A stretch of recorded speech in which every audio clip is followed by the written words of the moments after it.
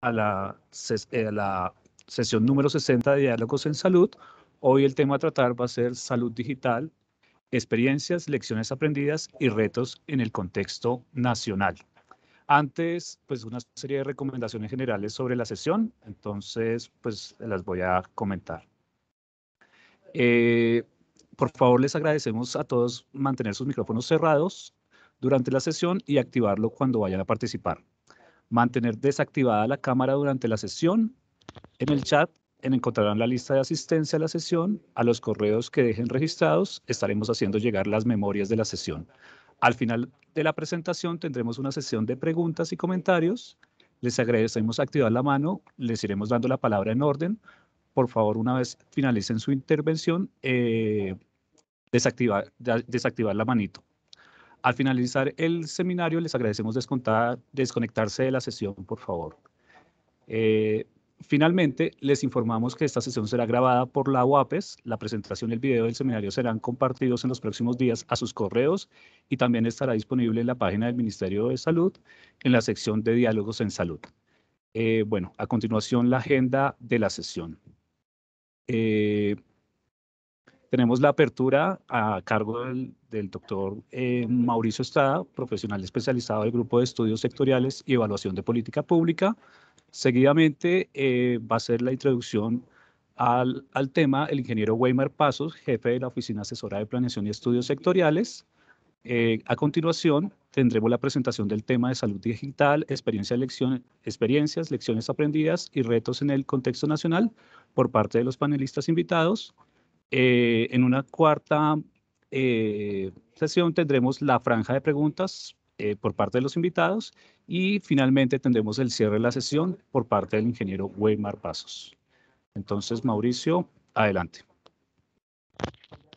Sergio, muchas gracias. Y gracias a todos por estar aquí con nosotros, a nuestros panelistas por su participación. Muy buenos días para todos. En nombre del Ministerio de Salud y Protección Social, la Oficina Asesora de Planeación Estudios Sectoriales y el Grupo de Estudios Sectoriales y Evaluación de Política Pública, les damos la bienvenida a la sesión número 60 del Seminario Diálogos en Salud. Diálogos es un espacio académico cuyo propósito principal es la divulgación de estudios, evaluaciones e investigaciones en tema en interés en salud pública para el día de hoy tenemos el tema salud digital, experiencia, lecciones aprendidas y retos en el contexto nacional y regional. El contexto global se encuentra enmarcado en la interacción de una serie de fuerzas moldeadoras, como ha sido el desarrollo de las nuevas tecnologías de la información y las comunicaciones. En la actualidad, prácticamente todos los sectores productivos de la sociedad se han apropiado de estas tecnologías y el sector salud no ha sido ajeno a esta tendencia. Como consecuencia, hace algunas décadas se ha venido tomando fuerza nuevos conceptos y abordajes en torno al panorama de tecnologías digitales, móviles e inalámbricas para la salud o la salud digital, lo que incluye el e-health. En la actualidad son cada vez más las herramientas digitales que se aprueban y evalúan y en algunos casos y que se integran cada vez más a escala en los sistemas de salud de los países, incluso en aquellos con ingresos bajos y medianos que, se, que, aún se esfuerzan por cumplir los objetivos de cobertura sanitaria universal. Colombia, aunque ha emprendido esfuerzos en esta línea a través de la definición y operación de servicios como la telesalud y la telemedicina desde hace casi 15 años, la conformación integral de los sistemas de información de salud SIS como el CISPRO o el REPS y recientemente dando pasos hacia la digitalización e interoperabilidad de su historia clínica, Aún carece de una política de Estado que de, que de forma sectorial oriente los esfuerzos institucionales hacia la instrumentalización y aprovechamiento de la salud digital, de forma que se mejore la salud de las personas y se les brinde servicios en condiciones de oportunidad, accesibilidad, calidad y dignidad. A pesar de lo anterior, durante la emergencia sanitaria generada por el COVID-19, las herramientas digitales de salud han venido desempeñando un papel central en la respuesta a la atención COVID-19 y por ello se ha utilizado para mitigar su impacto en diversos flancos. Entre ellas se encuentra el portal Coronavirus en Colombia, diversas iniciativas de teleorientaciones en salud y aplicativos como Corona entre otras herramientas también establecidas a nivel mundial como los sistemas de vigilancia o telesalud. El reto actual es definir qué tecnologías y usos aplicados a estas llegaron para quedarse por su costo efectividad, resultados en salud, preferencias del usuario y cuáles no. Para emplear un poco más este contexto, a continuación, unas palabras de nuestro jefe de la Oficina Asesora de Planeación y Estudios Sectoriales, el ingeniero Weimar Pasos. Doctor eh, Pasos, buenos días. Eh, bueno, muy buenos días para todos. Eh, quiero darles eh, un agradecimiento por esta participación en este seminario, seminario de diálogos en salud, ya el número 60. Una bienvenida a los ingenieros, tanto a la ingeniera Constanza, al ingeniero Fernando, e igualmente al doctor John Manuel Delgado, quienes nos acompañan hoy precisamente para hablar de un tema que está en este momento sobre la mesa, el tema de salud digital. En términos llanos lo entendemos como un campo de conocimiento y de práctica relacionado con, un con el desarrollo y la utilización de tecnologías digitales con un solo enfoque y es eh, mejorar la salud. Eh, este concepto de salud digital ya básicamente no solamente es el uso de las tecnologías, sino que también ahorita tienen una relevancia muy importante y es el tema de los datos. Datos que eh, se crean, que se comparten, se utilizan, interoperan y en la actualidad, pues cada vez tenemos más herramientas, eh, herramientas digitales eh, que eh, prueban, evalúan e integran diferentes sistemas de salud y en atención en diferentes países. Incluso aquellos que tienen ingresos bajos y medianos se esfuerzan por cumplir con estos objetivos de cobertura sanitaria universal. Estos sistemas de administración de insumos, de interoperabilidad de la historia clínica electrónica, la prescripción electrónica, sistemas de apoyo para la decisión clínica, eh, todos estos sistemas de información, recientemente también el almacenamiento, el análisis masivo de los datos, llamado como el Big Data, el aprendizaje eh, con la inteligencia artificial, sistemas de Internet de las Cosas, eh, todos estos son algunos componentes que actualmente se aplican al tema de lo que es la salud digital y que tienen la posibilidad también de ser incorporados en la prestación de los servicios y de la salud pública. En estos momentos, pues la salud atraviesa una importante fase de transformación eh, y la salud digital precisamente recobra un espacio que es importante en este escenario en cuanto a los retos del sector, sobre todo por esto, eh, eh, por, la pandemia que estamos atravesando. Esto ha hecho que se acelere el uso de diferentes estrategias como soluciones para mejorar esta expansión de servicios de salud. Eh, tomando como referencia o como centro al paciente. Hay diferentes desafíos en este sistema eh, de salud. Eh, sabemos que tenemos diferentes escenarios como la inaccesibilidad geográfica, tenemos baja demanda de servicios, tenemos retrasos en la prestación de atención. Sin embargo, estas deficiencias digamos que eh, acumuladas eh, afectan eh, y ponen en deficiencia la capacidad de poder cerrar estas brechas de cobertura de calidad y de acceso para lograr posicionar la salud dentro de nuestro país. Entonces, con esto de presente, nace esta necesidad de contar con una política de salud digital que nos ayude a responder a las necesidades acumuladas y recientes del sector y que podamos eh, adecuarla a una nueva realidad post pandemia. ¿sí? Esta propuesta eh, busca definir esta política de salud digital en Colombia eh, a través de una definición de diferentes ejes transversales y acciones para la transformación digital del sistema de salud y los actores que intervienen ya sea directa o indirectamente. Entonces, eh, aquí tendríamos que trabajar en una definición de un marco normativo, un marco eh, también de gobernanza, generación de capacidades de infra, eh, infraestructura, gestión para la toma de decisiones y la definición de roles.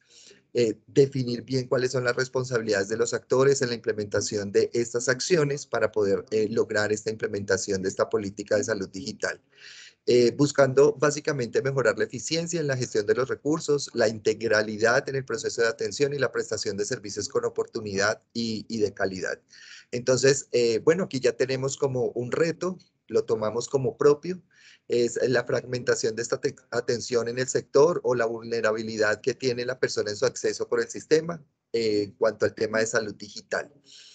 Eh, tenemos diferentes eh, opciones para considerar el diseño de un modelo integrado que incluyan no solamente el uso de las rutas de atención integrada para enfermedades crónicas, eh, para tener allí dentro de este sistema especialistas visitantes en entorno de atención primaria en salud, eh, sino también el uso de asesores eh, de pacientes, de sistemas de telemedicina, consulta electrónica, que nos ayuden a proporcionar a los prestadores de salud la posibilidad de interoperar y mejorar el flujo de información en relación pues, con los otros actores que tenemos eh, beneficios enfocados como tal en las personas.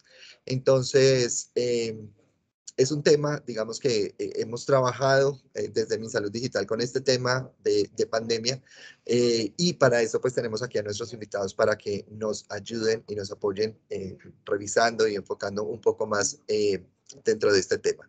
Entonces, muchas gracias y bienvenidos.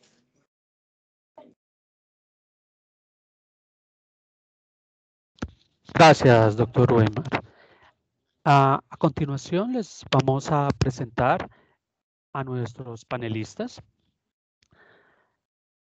Tenemos eh, a la ingeniera Constanza María Engativá, quien es profesional en Ingeniería de Sistemas, especialista en Gerencia de Sistemas Informativos y Nuevas Tecnologías, Innovación y Gestión de Ciudades y máster en Dirección y Administración de Empresas.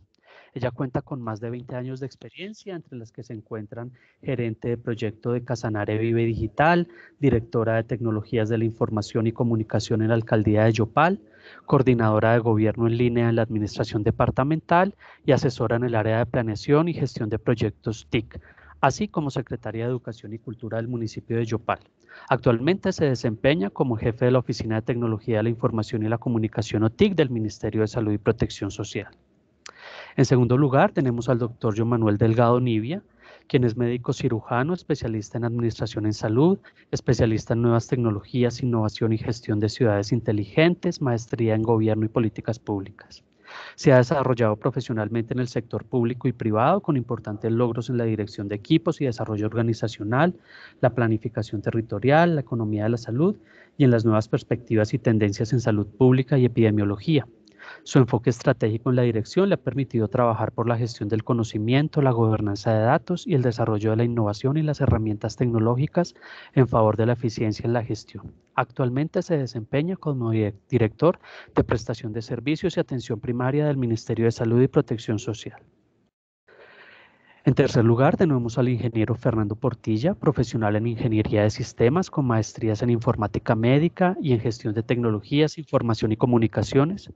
Se desempeña como consultor especialista de estándares de interoperabilidad para proyectos de transformación en salud digital.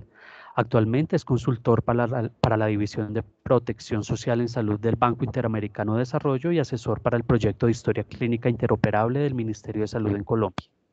Fue asesor del proyecto Historia Clínica Electrónica Nacional de Uruguay y del proyecto de Historia Clínica Electrónica del Distrito de Bogotá, entre otros colaborador para grupos de trabajo y equipos técnicos para diferentes organizaciones internacionales que desarrollan estándares de interoperabilidad en salud como HL7, IHE, SNOMED, CT. También participa de equipos técnicos de trabajo de la OMS dentro del proyecto SBC, DDCC, staff técnico de la red RAXEL, Red Americana para la Salud Electrónica en América Latina y el Caribe, y docente universitario en informática médica.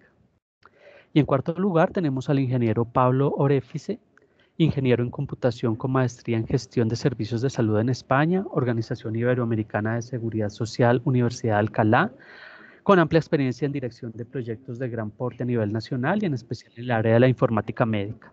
Fue director de la Iniciativa de Salud Digital de Uruguay, por más de cinco años. Entre los productos más significativos implementados bajo, la iniciativa se encuentran el diseño y operación de la plataforma de interoperabilidad en salud para Uruguay, la historia clínica electrónica nacional de oncología y la red integrada de diagnóstico por imagen. Representó Uruguay en la Asamblea General ante la organización SNOMED Internacional, en la Red Global Digital Health Partnership y en el Comité Técnico Regional de la Red Americana de Cooperación de Salud Electrónica. Fue asesor del exministro de Salud de Chile para la transformación digital del sector y se desempeñó en Corfo como consultor experto en informática médica por más de dos años. Es profesor del Diplomado en Informática Médica de la Universidad de la Empresa de Uruguay y ha brindado conferencias en seminarios y capacitaciones internacionales. Actualmente es consultor senior internacional en salud digital en, el Banco Interamericano de Desarrollo para varios países de la región. Les doy la bienvenida a todos y les doy la palabra y la presentación. Muchas gracias.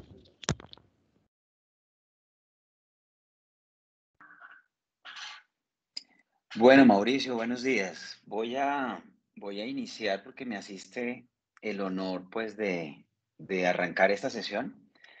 Eh, gracias por la, por, la, por la proyección de la presentación. Por supuesto, me uno a los saludos, al agradecimiento al equipo directivo del ministerio que ha permitido que tengamos este espacio. Y eh, de los 15 minutos que tengo, voy a aprovechar un minuto.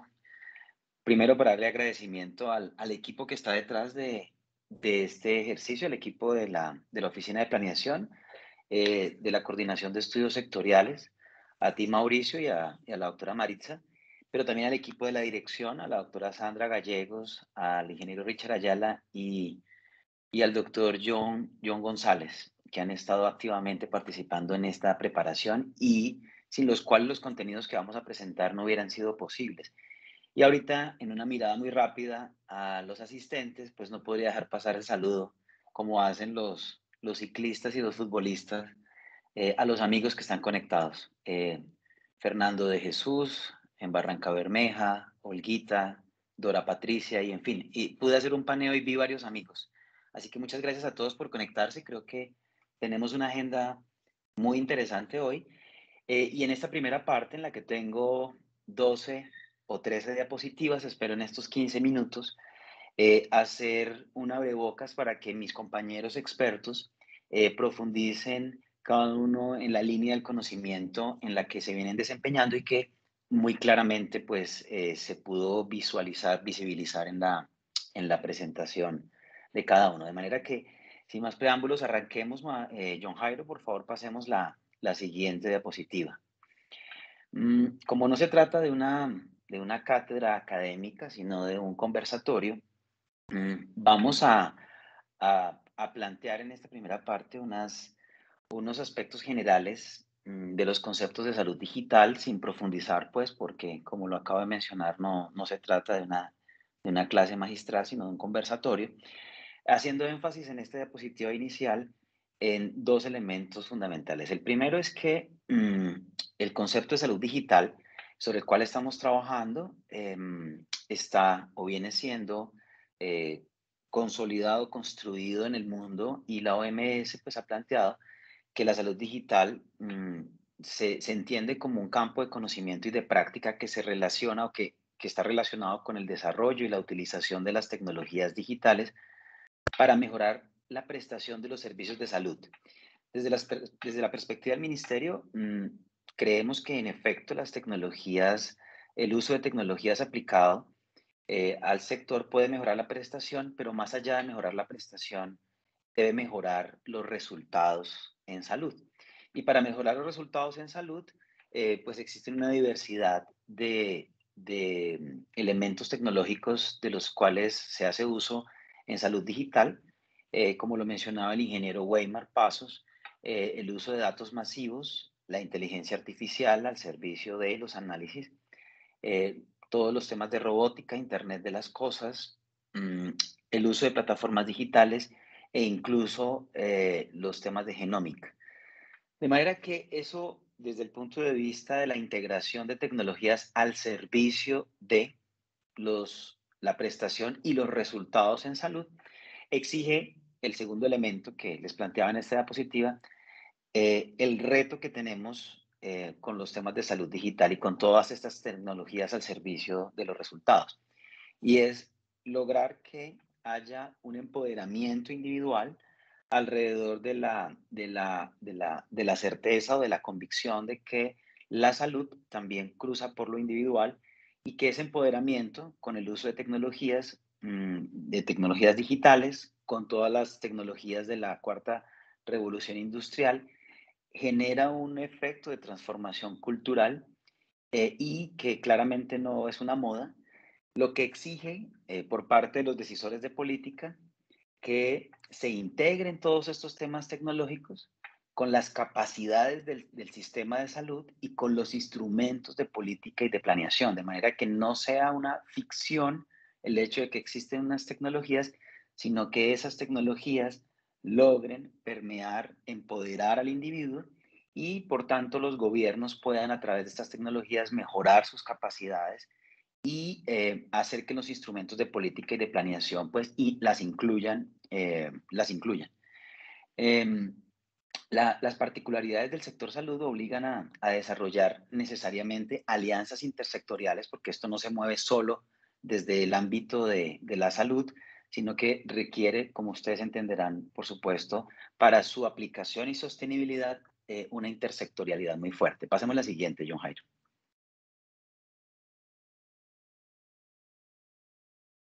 Yo, eh, pasamos a la siguiente, por favor, gracias. Aquí simplemente quiero eh, hacer una, mirada rápida de algunos conceptos. No, no voy a profundizar en ellos, simplemente voy a trazar eh, cinco, cinco o seis conceptos que son importantes desde el punto de vista conceptual. Eh, la fuente de estos conceptos está en la ley 1419 del 2010, en la que se establecieron los lineamientos para el desarrollo de de telesalud en Colombia. Es decir, esto tiene 11, 11 años, más de 10 años, una década, así que debería estar apropiado por nosotros. El concepto de telesalud, de telemedicina, teleeducación. Eh, telesalud entendido como, como una especie de, de, sombrilla. Telemedicina, ya lo vamos a ver más adelante, como, como la, la provisión de servicios de salud a distancia utilizando tecnología e interactuando con los pacientes y teleeducación eh, como herramienta, eh, como la tecnología como herramienta al servicio de la formación, no solamente de, los profesionales de salud, sino de los pacientes. Eh, y los otros dos elementos, pasemos la siguiente, John Jairo, por favor, de teleorientación y teleapoyo. Teleorientación y teleapoyo eh, fueron desarrollados posteriormente en la resolución 2654 de 2019, eh, que amplió y le dio desarrollo a nuestra, a nuestra norma de 2010. La teleorientación, eh, que está relacionada con la proporción al usuario de información y consejería o asesoría en diferentes componentes de la promoción, prevención, diagnóstico, tratamiento y rehabilitación. Y el teleapoyo, eh, que está circunscrito como al soporte que se le, se le solicita a un profesional entre profesionales de salud. Pasemos a la siguiente. Eh, cuando nos metemos en el ramo de la telemedicina, que muchas veces lo utilizamos de forma genérica para todos los temas de, de, de telesalud, eh, pues encontramos que telemedicina como una subcategoría o como una categoría puede dividirse dependiendo de la forma como interactúe con eh, la otra persona, puede dividirse en diferentes subcategorías. La telemedicina interactiva, la no interactiva, la teleexperticia y el telemonitoreo. La interactiva claramente es la que más conocemos, en donde en una relación a distancia, eh, a través de una herramienta de videollamada en tiempo real, el profesional de salud y el paciente tienen una, ah, una actividad, una interacción eh, médico-paciente sincrónica. La telemedicina no interactiva es una relación también a distancia, usando comunicación, pero asincrónica, eh, y no requiere una respuesta inmediata por parte del profesional de la salud eh, hacia el paciente. Hay interacción, pero es asincrónica y no se necesita pues esa sincronía para que se dé la, la interacción. La teleexperticia está vinculada más entre profesionales a la relación eh, o a la comunicación sincrónica o asincrónica entre profesionales. Pueden ser dos profesionales, entre profesionales y técnicos o incluso para juntas médicas. Y el telemonitoreo que está más vinculado a la forma como se puede monitorear a distancia a través de tecnologías eh, no solamente los datos clínicos de un paciente, sino también incluso la visualización de los pacientes en cama o hospitalizados. Es decir, eh, incluso eh, en, domicilio también eh, puede hacerse telemonitoreo, es decir, todas las formas, aquellas que nos permiten visualizar ya sean variantes, variables fisiológicas de los pacientes o incluso al paciente, al paciente mismo en, su estado de hospitalización o de observación domiciliaria. Pasemos la siguiente, por favor. Eh, discúlpenme que vaya tan rápido, pero en aras del tiempo y en el respeto a los compañeros estoy tratando de, hacer un barrido rápido. Y en este diapositivo, pues podemos, podemos ver eh, ya, mm, ya un resumen eh, de lo que, yendo de lo general a lo particular, tenemos salud digital como, como ese gran concepto de inclusión de tecnologías al servicio de los resultados en salud y de, de salud digital hacemos foco en prestación, en la prestación de salud y lo enfocamos en telesalud específicamente y telesalud con diferentes formas de, que acabo de mencionar, teleeducación, telemedicina, teleorientación, teleapoyo. Y el desarrollo que he hecho aquí en esta presentación se ha enfocado en telemedicina. Las otras tres también tienen sus, sus propias subdivisiones, pero en particular quería hacer énfasis en telemedicina y eh, ahí aparecen las, las cuatro subcategorías. Algunos ejemplos de lo que puede ser la, la telemedicina interactiva eh, que es como la que más conocemos nosotros, eh, la consulta general o del especialista, incluso la rehabilitación que se hace interactiva a distancia. Eh, la telemedicina no interactiva cuando se pide segunda opinión, que no necesariamente necesita la comunicación sincrónica, puede ser asincrónica, y otra que es muy conocida, que es la lectura de imágenes diagnósticas, cabría dentro de la categoría de telemedicina no interactiva. La teleexperticia, pues no voy a entrar en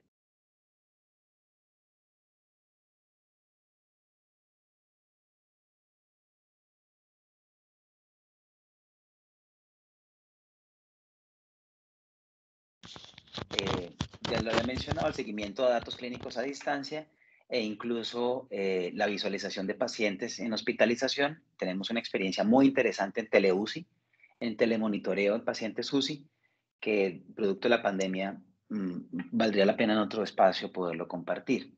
Eh, con este menú que se presenta aquí, pues está claro que el paciente tiene la posibilidad de hacer una libre escogencia de la modalidad que le gustaría. También los prestadores están en posibilidad de ofertar servicios eh, muy diversos.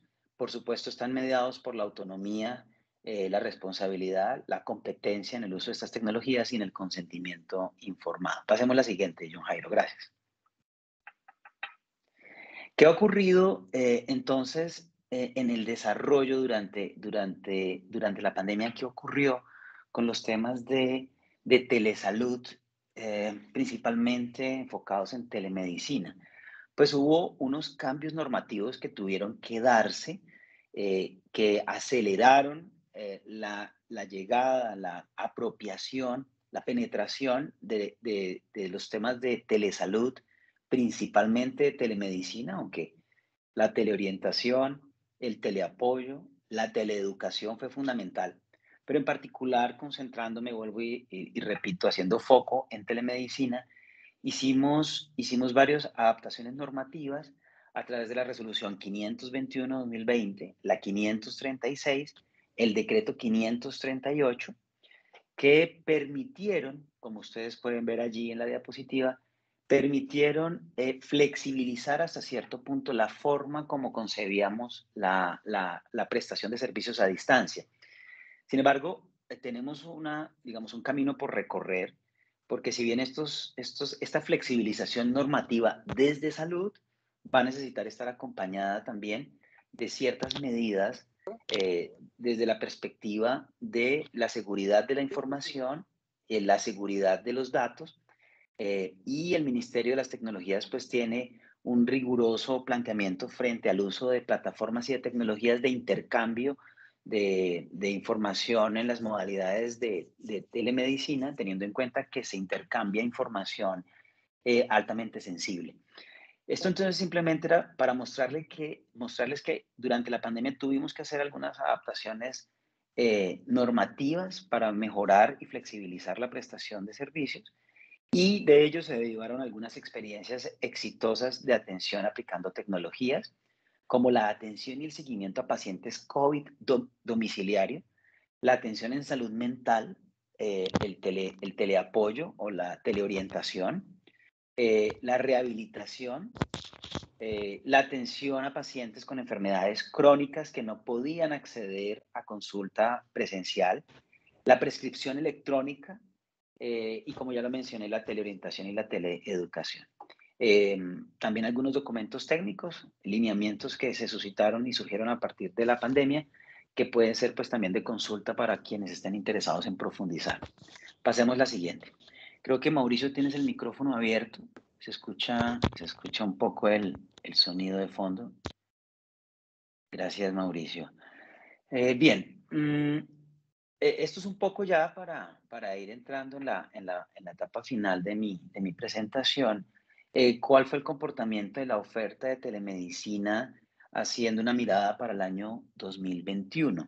Mm, los servicios de telemedicina mm, ya hacen parte de una categoría eh, en el registro especial de prestadores de servicios de salud em, y en este registro tenemos una oferta habilitada de servicios. Tenemos que el 4% de los prestadores habilitados del país ofertan telemedicina. Y este 4% de quienes ofertan telemedicina están ubicados en 370 municipios, de los más de 1.100 municipios que tenemos, eh, ubicados en 32 departamentos y 6 distritos. Es decir, todavía tenemos eh, una habilitación de servicios de telemedicina eh, baja, si, si, si, vemos el porcentaje que está allí presentado. Em, en números, esto significa 3.368 prestadores con 12.257 servicios habilitados. Ustedes saben que en el registro especial nosotros inscribimos prestadores y esos prestadores habilitan servicios. Entonces, estos 3.368 eh, tienen 12.257 servicios habilitados. El 20% de las sedes de prestadores públicos están ubicados en municipios PEDET y 38% en zonas del Plan Nacional de Salud Rural. Esto mostrando un poco que todavía tenemos una, una brecha mm, en, en, ciertos municipios, tanto rurales como PEDET, que ya lo vamos a ver más adelante, hace parte de uno de los retos regionales eh, con todos los temas de salud digital y específicamente con telesalud. En relación con el desarrollo de competencias digitales, eh, simplemente queríamos mostrar que tenemos un camino muy grande por recorrer porque la brecha que tenemos en el talento humano en salud de información de competencias digitales para la prestación de servicios de telesalud es muy amplia e incluso para la comprensión de la importancia de todos los elementos como, como la Big Data, el Internet de las Cosas, inteligencia artificial aplicado a salud.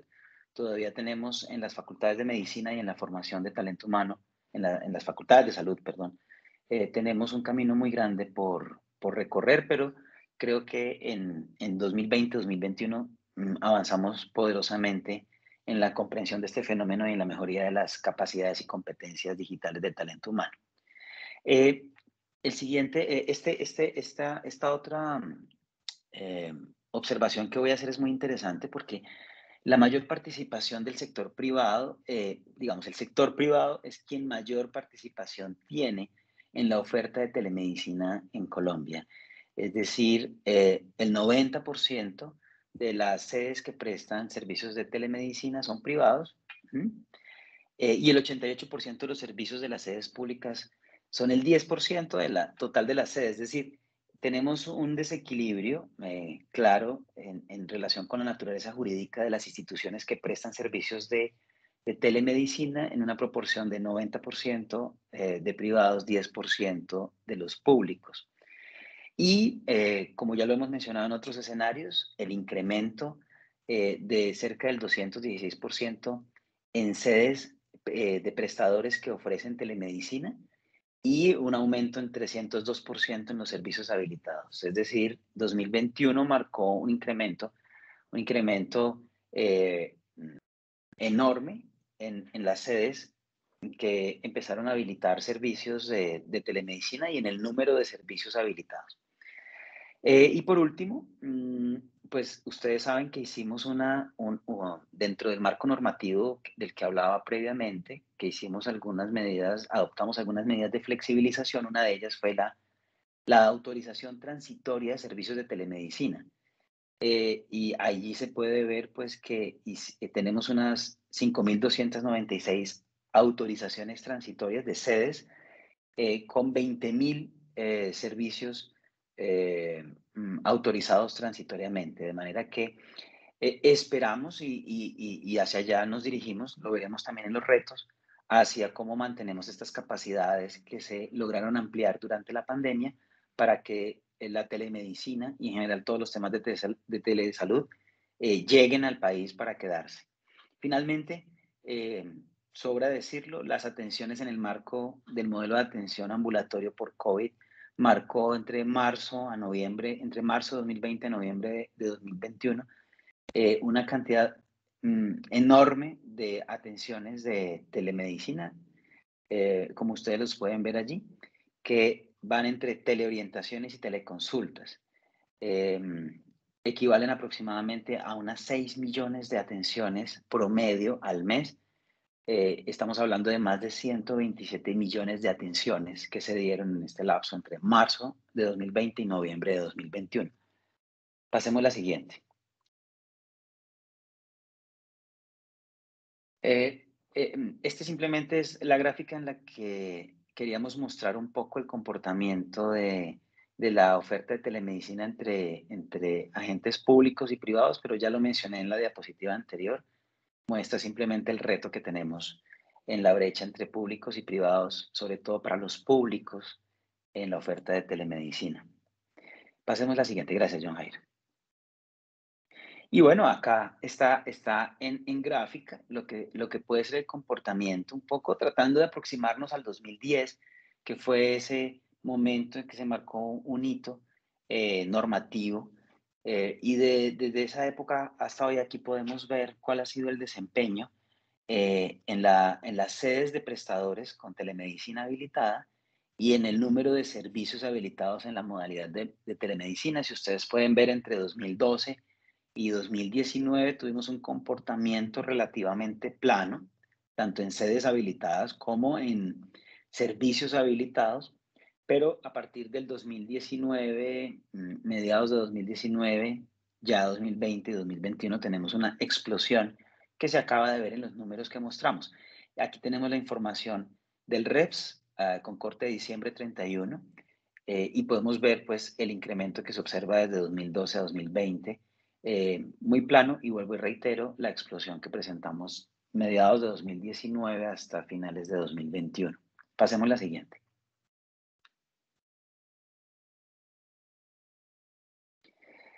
Eh, en, esta, en esta diapositiva, pues queríamos destacar, eh, me, me, excusan porque creo que, que, se, que, no se alcanza a ver muy bien, pero cuando ya tengan la, la presentación en su poder, pueden ver cómo Em, pues en el top 5 de, los servicios que más se ofertan en telemedicina están eh, medicina general, eh, psicología, eh, medicina interna, pediatría y nutrición y dietética.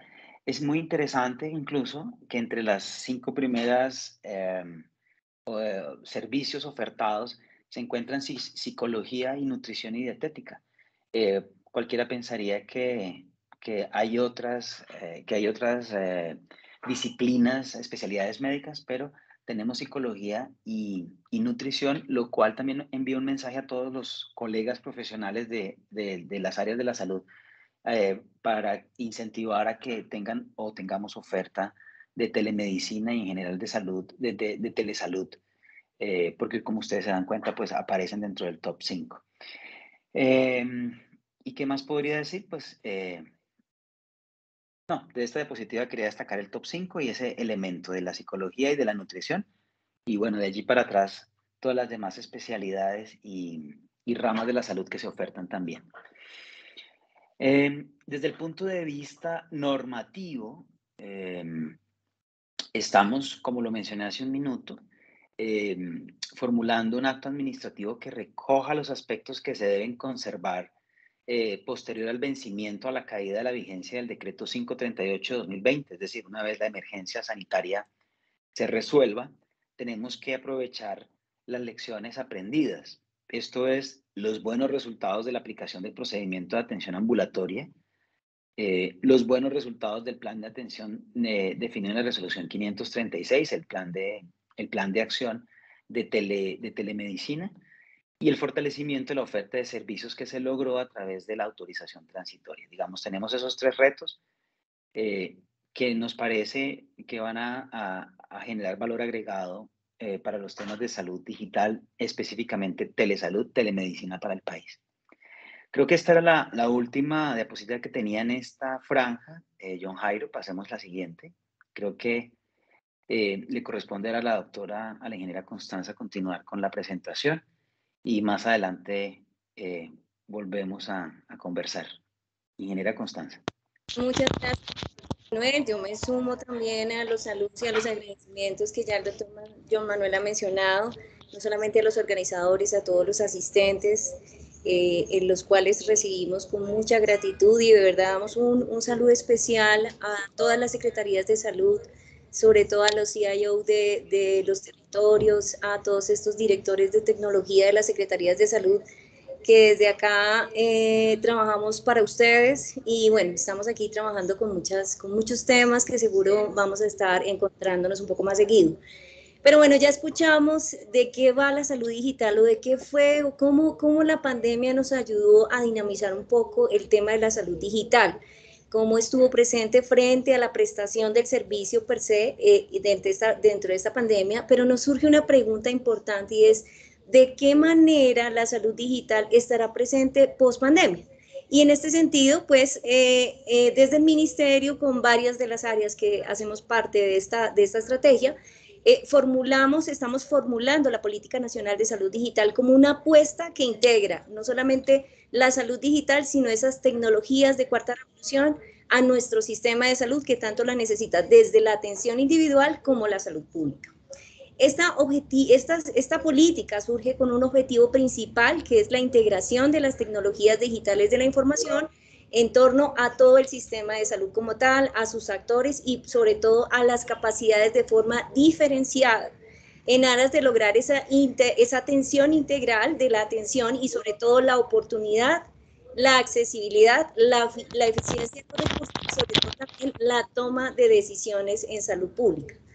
Esta, esta política además nos surge que eh, las experiencias y los retos de la pandemia nos puso en presente que los beneficios de las tecnologías digitales, como ya nos lo mencionó el doctor John Manuel, con estas grandes estadísticas que nos mostró que favorecen no solamente el sistema de, salud, sino que también dinamiza la interacción entre todos los ciudadanos y el Estado o los actores del sistema como tal, nos permitieron que eh, identifiquemos esos retos de la pandemia que se puso en presente con los beneficios de las tecnologías que ya mencionamos. Surgen estas necesidades estructurales del sector y, y, de, y sobre todo una serie de problemáticas que vemos en la diapositiva y que podemos sobre todo abordar desde las tecnologías. Vemos tres, tres, tres problemáticas específicas. La primera es esa ausencia en el marco de política y de gobernanza. El doctor John Manuel nos mencionaba una serie de resoluciones que si bien es cierto, eh, detalla unos, unos conceptos específicos, sin embargo, el, el marco de la política y de la gobernanza nos lleva a que se definan el alcance de las tecnologías en el sector. Vemos en nuestra diapositiva que según la encuesta, la última encuesta que realizó la Organización Mundial de la Salud en cuanto a la salud electrónica, Colombia hace parte de ese 40% de los estados que aún no cuenta con una estrategia de salud electrónica o salud digital, según como lo llama la OMS. Y, esta, y es más, la última ley que tenemos, eh, eh, que expedimos fue la 2015 del 2020, que se limita específicamente a temas de historia clínica electrónica y por supuesto en el 2010 tenemos la ley de telesalud. Como segunda medida tenemos también las limitaciones y las asimetrías de las capacidades de gestión de la salud digital entre los diferentes actores. Este es un problema tradicional en el sector y asociado a las inequidades territoriales. No solamente las inequidades territoriales, sino también esa diferencia que existe entre el sector privado y el sector público, que ya nos mencionaba el doctor John Manuel, y sobre todo a cómo estamos abordando esos determinantes sociales que están afectando directamente a la salud y sobre todo al desempeño en, el sector por parte de los territorios. Siguiente, John, por favor. Como tercera medida, tenemos también estas contradicciones en el uso de la información en el sector. Por un lado, tenemos poca información respecto del estado de las tecnologías y por otro lado también tenemos una barrera en la participación y el empoderamiento de las personas. Entonces, mientras no tengamos una suficiente, la suficiente información sobre la madurez en el sector y sobre todo de los distintos actores, tenemos un potente sistema de generación de, información de datos en el, en el ministerio. Tenemos el CISPRO, tenemos información que ustedes desde los territorios nos envían, que los aseguradores y los prestadores nos envían, y que de todas maneras el CISPRO no es solamente que nosotros lo reconozcamos como ese gran lago de información, sino que ha sido también reconocido por eh, diferentes ponentes y sobre todo diferentes países en América Latina. Pero esta información estamos eh, desaprovechando el uso que podríamos llegar a tener para la toma de decisiones. Si nosotros formuláramos nuestras políticas públicas basadas en la estadística que tomamos sobre los sistemas de información, seguramente tendría, estaríamos generando unas políticas públicas desde lo territorial mucho más incluyente y sobre todo eh, mucho más útil. Siguiente, John, por favor. Ah, tenemos, bueno, unas, unas barreras de participación y sobre todo también, eh, perdóname la anterior, eh, hablábamos también de, la, de las barreras de participación y el empoderamiento de estas comunidades y este problema básicamente se da es porque hay una fragmentación del sistema en el que las personas deben gestionar su paso por el sistema. Cada uno de nosotros los ciudadanos debemos dar paso a paso para poder estar dentro del sistema y obviamente hacer uso del mismo. Y si bien las tecnologías digitales pueden brindar una transformación digital, como bien lo mencionaba el doctor John Manuel, eh, pues definitivamente si nosotros desde los, los entes del orden nacional y los territoriales, y es más, también los prestadores, no habilitamos estas tecnologías para que el paciente pueda ser definitivamente el centro del sistema y esté eh, finalmente empoderado, pues definitivamente la política de, de salud digital pues iría en otro curso es importante que obviamente tengamos muy claro de que tenemos que hacer unos procesos de alfabetización digital, no solamente para el talento humano en salud o para todos los actores que hacemos parte, sino sobre todo también para la ciudadanía, que podamos romper esas barreras y sobre todo que podamos amplificar las posibilidades que nosotros tenemos para poder acceder al servicio de salud, fortalecer la salud pública a través de estas tecnologías. Lo mismo pasa con las comunidades médicas que, no, que eh, en definitiva no reciben la suficiente formación de estas habilidades que ya, reitero, ya lo mencionó el doctor Joan Manuel, lo voy a profundizar un poco, y es que en las facultades de salud hay una brecha entre el uso, el aprovechamiento de estas tecnologías emergentes y eh, la formación per se de la salud. Siguiente, John. Esta política o este plan que estamos eh, estructurando no parte de cero, parte desde lo construido. Eh, tiende obviamente o tiene plena y absoluta observancia no solamente de los, de los COMPES y del marco normativo que vemos dentro de la, dentro de la diapositiva, eh, que recoge elementos intersectoriales y sobre todo también sectoriales, sino que también nos lleva a verificar elementos a nivel internacional y también regionales para que nosotros podamos fortalecer que esa política pública que nosotros estamos definiendo sobre salud digital está muy, muy alineada y muy ajustada a nuestro sistema de salud, pero sobre todo estamos preparándonos para poder llegar a, un, a una posibilidad futura de tener una interoperabilidad de historia clínica a nivel internacional. Tenemos algo muy importante y esto es algo, esto es un mensaje que el señor ministro siempre nos ha dado y de hecho Debo confesarles que este, este gráfico lo hizo directamente el señor ministro y es la gobernanza de la salud digital. Y él nos menciona algo muy importante que es que la gobernanza de la salud, no de la salud digital no puede darse si no visibilizamos la información en el centro. Es decir, si nosotros no partimos de un lago de información que sea compartido como primer nivel en el sistema de salud y sus actores. Como vemos en la diapositiva, vemos a personas, a los aseguradores, a las entidades territoriales, a los prestadores, al talento humano en salud, a los proveedores farmacéuticas, que es como la primera línea en donde nosotros debemos compartir esta información y pasando sobre todo también al sistema de seguridad social que incluye pensiones, riesgos laborales, hasta el involucramiento específicamente de sectores que participan activamente en los determinantes sociales de la salud, como vemos allí, educación, vivienda, temas de ambiente, bueno, los que vemos en la diapositiva. Y también actores internacionales que están de manera permanente cooperando con el Estado colombiano para hacer que los colombianos o los residentes en Colombia podamos tener un mejor acceso y sobre todo una mejor prestación del servicio de salud. Siguiente, por favor. Tenemos una visión de la salud digital y para esto tenemos un marco habilitante. Y en esto tenemos un gran, un, gran aporte y vale la pena reconocer este aporte inmenso, este apoyo inmenso que nos da el Banco Interamericano de Desarrollo, que de hecho que los, los expertos que siguen en adelante son específicamente del banco, en donde a través de esta casa digital, eh, que no es otra cosa que un marco habilitante, nos permite hacer una analogía sobre lo que eh, en realidad es la salud digital para nosotros. Esta analogía de una casa, que es nuestra casa digital, incluye una estructura de gobernanza de esas acciones para las personas, para la cultura, para la infraestructura, que es ese componente fuerte que va a poder ser la, base fundamental para hacer efectiva la salud digital y la infraestructura, que es el componente más importante, que es el componente de datos.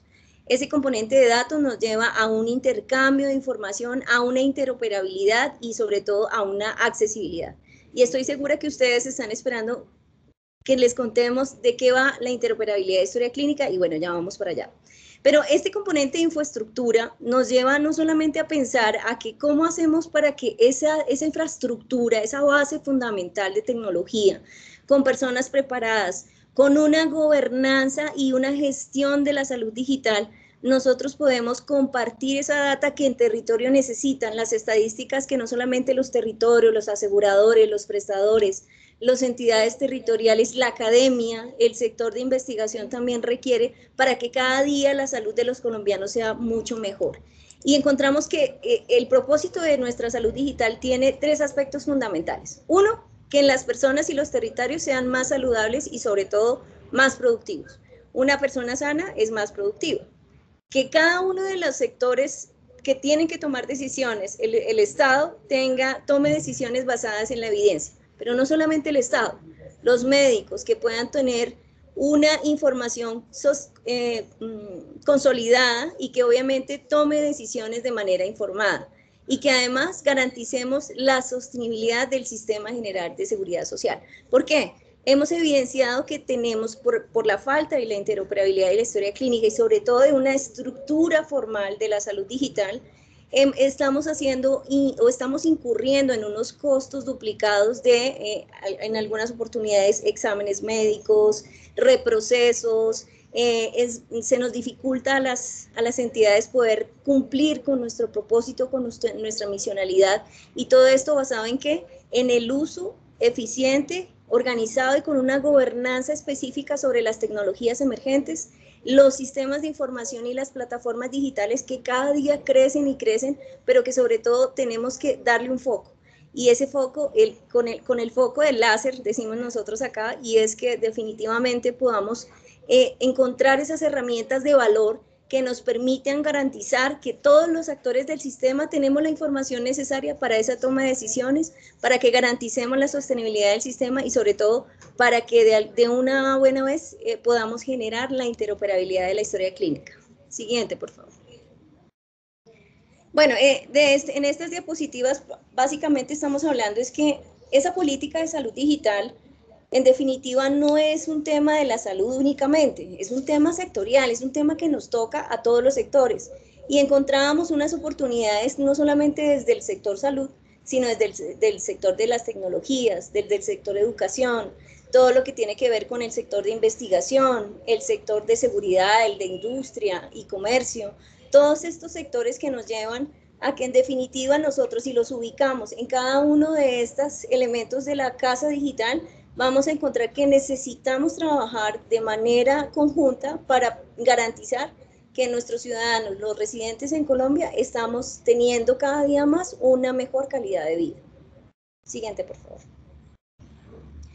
Bueno, eh, esta prácticamente nos lleva a esa que nosotros estamos haciendo una observancia, una, una plena observancia de las tecnologías digitales ya las mencionaba el doctor John Manuel al inicio de su presentación, la genómica, la robótica, la computación en la nube, bueno, etcétera, que basados también en unos aspectos importantes y es la interoperabilidad de todas, no solamente de las tecnologías, sino de la interoperabilidad de la información, que nos define específicamente unos roles, unos usos y sobre todo un aprovechamiento de dicha información y de esas tecnologías para cada uno de los actores y nos lleva, por supuesto, a, la, a unas intervenciones específicas. Nosotros todo lo hacemos con eh, siguiendo los lineamientos de la Organización Mundial de la Salud, con los lineamientos que también nos traslada la OPS, y es eh, cómo estandarizamos esas tecnologías para específicamente adelantar unas intervenciones digitales básicas.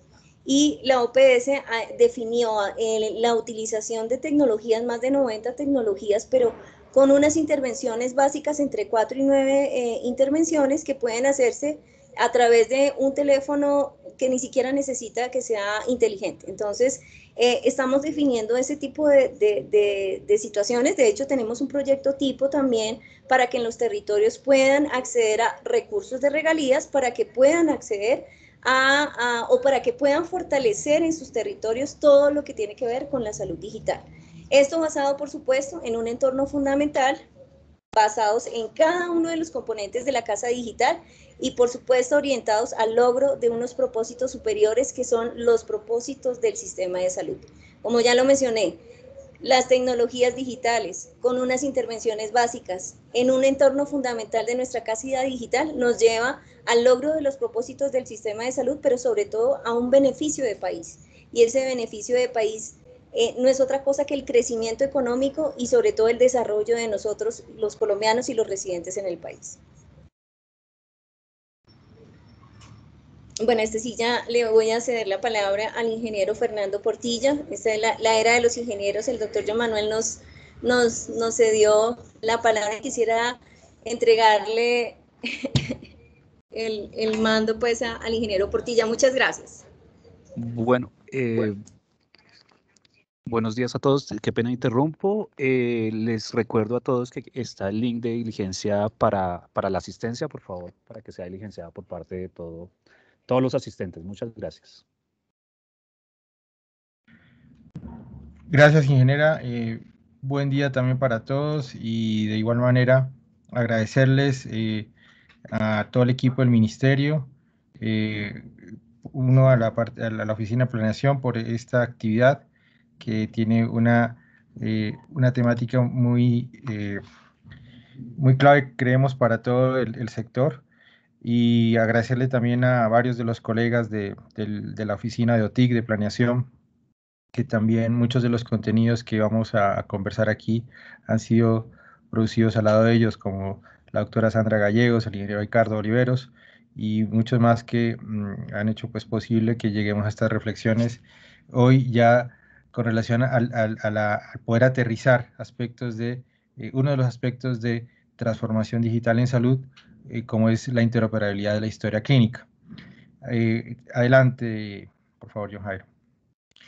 La, historia clínica, somos conscientes y, sabe, y, entendemos que el país, como lo mostró al, inicio el, el, doctor John tiene eh, en muchos lugares desarrollos importantes de historia clínica, es decir, eh, las organizaciones, los hospitales, las ESES, eh, los prestadores públicos, privados, cuentan con desarrollos e iniciativas, incluso ya no solamente de, un prestador, sino de redes o, incluso de, territorios. pero aún así, nuestro usuario, cuando cambia o cuando va de, una zona a otra o es atendido en diferentes zonas, pues adolece eh, de, esta información de la historia clínica para la continuidad asistencial.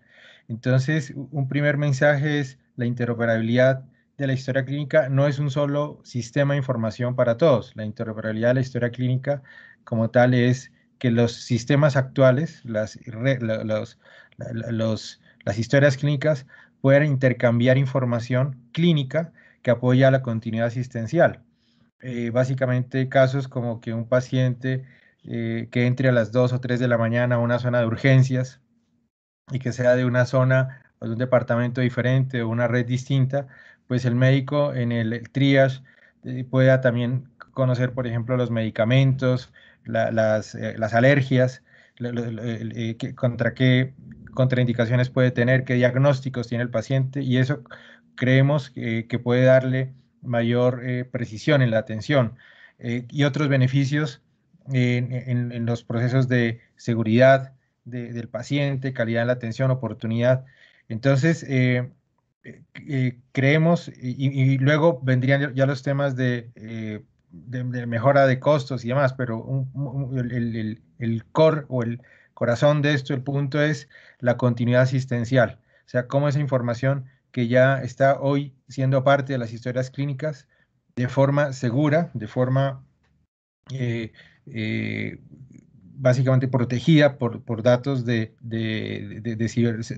y técnicas de ciberseguridad, pues puede ser eh, compartible entre, en, momentos de, atención de, nuestros pacientes en, las instituciones de salud. Entonces, adelante, por favor, John. Gracias. es un poco la, terminar esta reflexión inicial tenemos distintas redes, distintos sistemas de información. Eh, hicimos unos niveles de, conocimos unos niveles de madurez de, tecnología y de uso de, la informática en las instituciones. Creo que tenemos eh, datos a 2018. Se va a hacer ahora una actualización también de esto, o sea, qué, qué madurez tecnológica hoy hay en el sector. Pero aún así sabemos que eh, tenemos estas dificultades cuando nuestros pacientes, usuarios, son atendidos en redes o en departamentos o en zonas diferentes a las de su a las que están afiliados normalmente. Entonces, la, historia clínica busca aportar en este proceso de continuidad asistencial, porque los datos de salud son generados en diferentes lugares, en diferentes momentos del tiempo, y son de diferente naturaleza, datos de laboratorio, de vacunación, de alguna nota quirúrgica, de un resultado de laboratorio.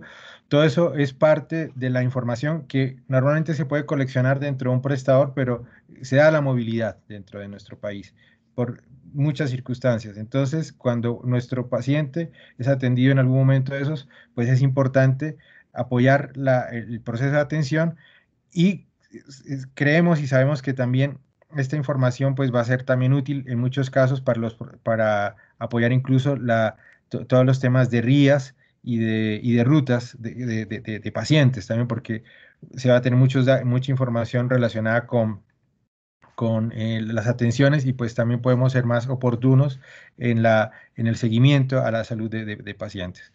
Entonces, eh, un poco lo, que ha ido generando ya el país, eh, digamos que no es un tema nuevo, cada vez como que eh, se va haciendo un acercamiento más y hemos ido haciendo un, zoom, digamos, sobre las cosas que hay que hacer, o sea, enfocarnos más. El, país ha, estado sensible, eh, ha, ha, tenido desarrollos importantes, como lo comenta la, ingeniería y este background previo de CISPRO, el, tema de recolección de RIPS, eh, esta información que tenemos de, de RUAF, el, país tiene una información importante. Eh, tenemos datos que ya, están siendo válidos, que se utilizan. Y específicamente se viene haciendo un esfuerzo para lo de historia clínica. Las últimas dos grandes eh, normativas pues viene toda una historia desde la 1995, digamos, pero las últimas dos grandes eh, resoluciones en el, 2020, la ley 2015, y el año pasado, cuando ya tuvimos un consenso de datos o de, conjunto mínimo de información para ser interoperable. O sea, la resolución 866 ya dice estas variables, 54 si no me equivoco, ya deberían ser parte de un... Eh, de, un conjunto mínimo de intercambio de, información para procesos de continuidad asistencial. Entonces, la base, y comentarles que sobre las cuales los equipos técnicos con el ministerio venimos trabajando es con este consenso que hay alrededor de la resolución 866.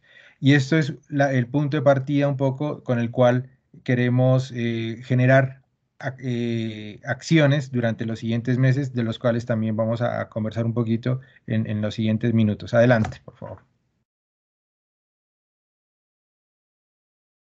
Eh, exacto. Entonces, eh, un poco lo que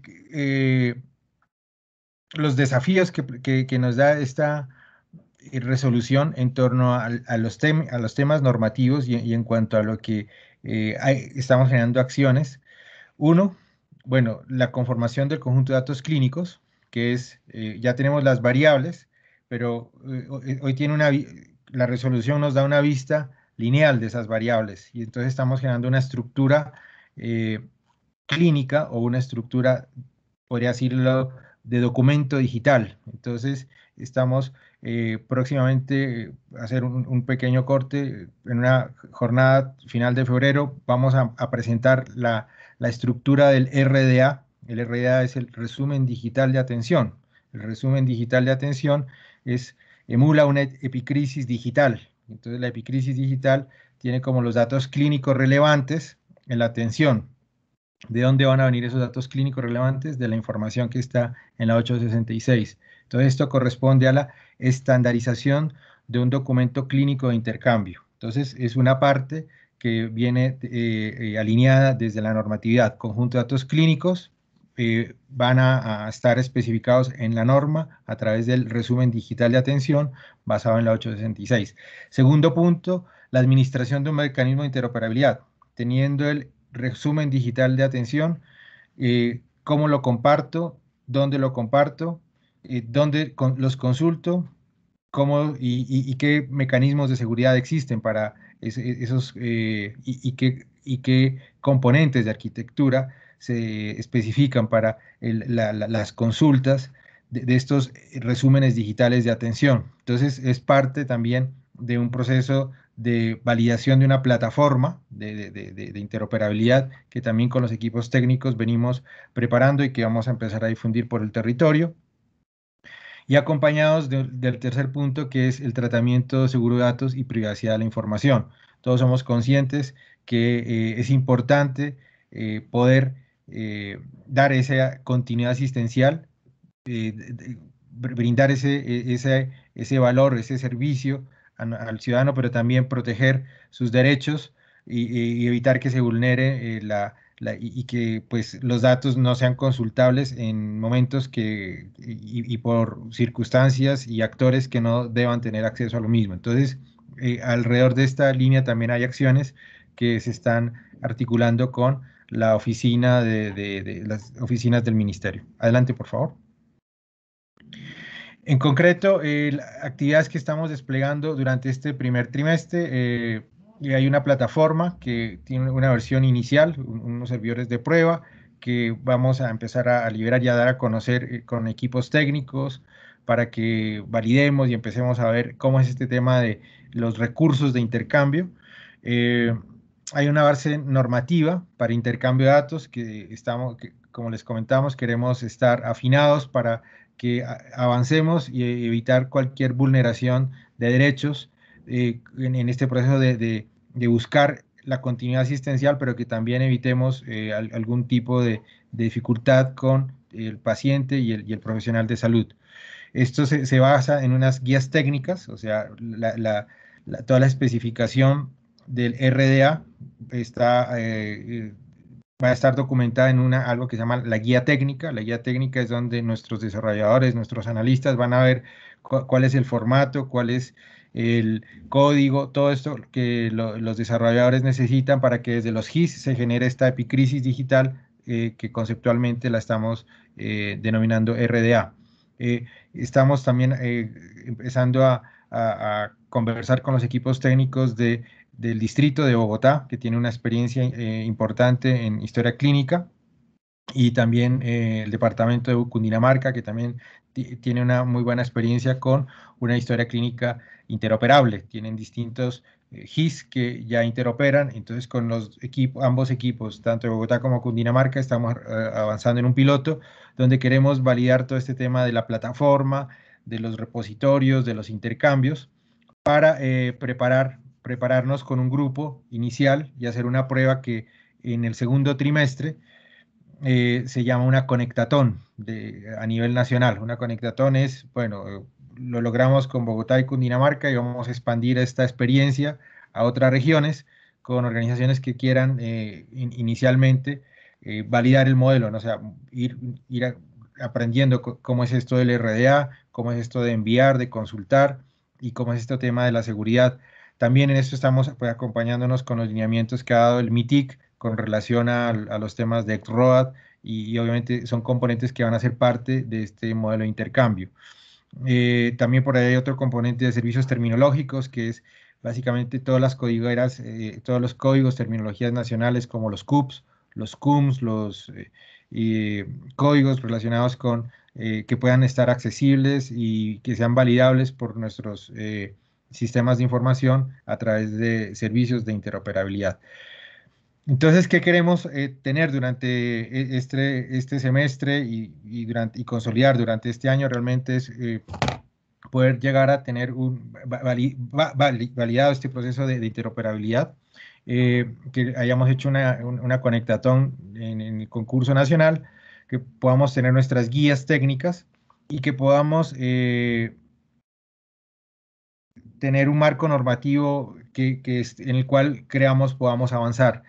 Eh, esto nos tiene que también apoyar en, algo que es un, proceso de, de, eh, de, evolución y es básicamente cómo vamos a hacer un plan de adopción, es decir, que podamos efectivamente extender eh, el plan por los distintos prestadores, aseguradores, departamentos. Entonces, todo ese, una, vez validado todo este proceso de, digamos, técnico y de intercambio y demás, también un proceso de, de adopción que indique, las normas hablaban de, hablan de cinco años, ya llevamos cuatro, ya, ya, tenemos un año, nos quedan tres y medio, cuatro años, entonces en estos tres años, ¿cómo va a ser este despliegue? Y, cómo vamos a ir también acompañándonos de infraestructura en los departamentos, en los municipios y cómo vamos a ir avanzando a nivel de, de la nación. De esa manera nos quedan los desafíos. Por favor, adelante, John. Entonces, eh, vienen los retos, ¿no? O sea, una vez validado los datos, el modelo de intercambio, la parte normativa, bueno, hay una, estrategia evolutiva para adopción dentro del sistema de salud. O sea, cómo esto es evolutivo y cómo es parte del modelo de salud. Mm, cómo logramos una apropiación de este mecanismo dentro del sistema. O sea, cómo esto eh, eh, es parte y realmente se inserta y, lo usamos y, efectivamente encontramos uso y valor agregado dentro de este mecanismo de, interoperabilidad de historia clínica.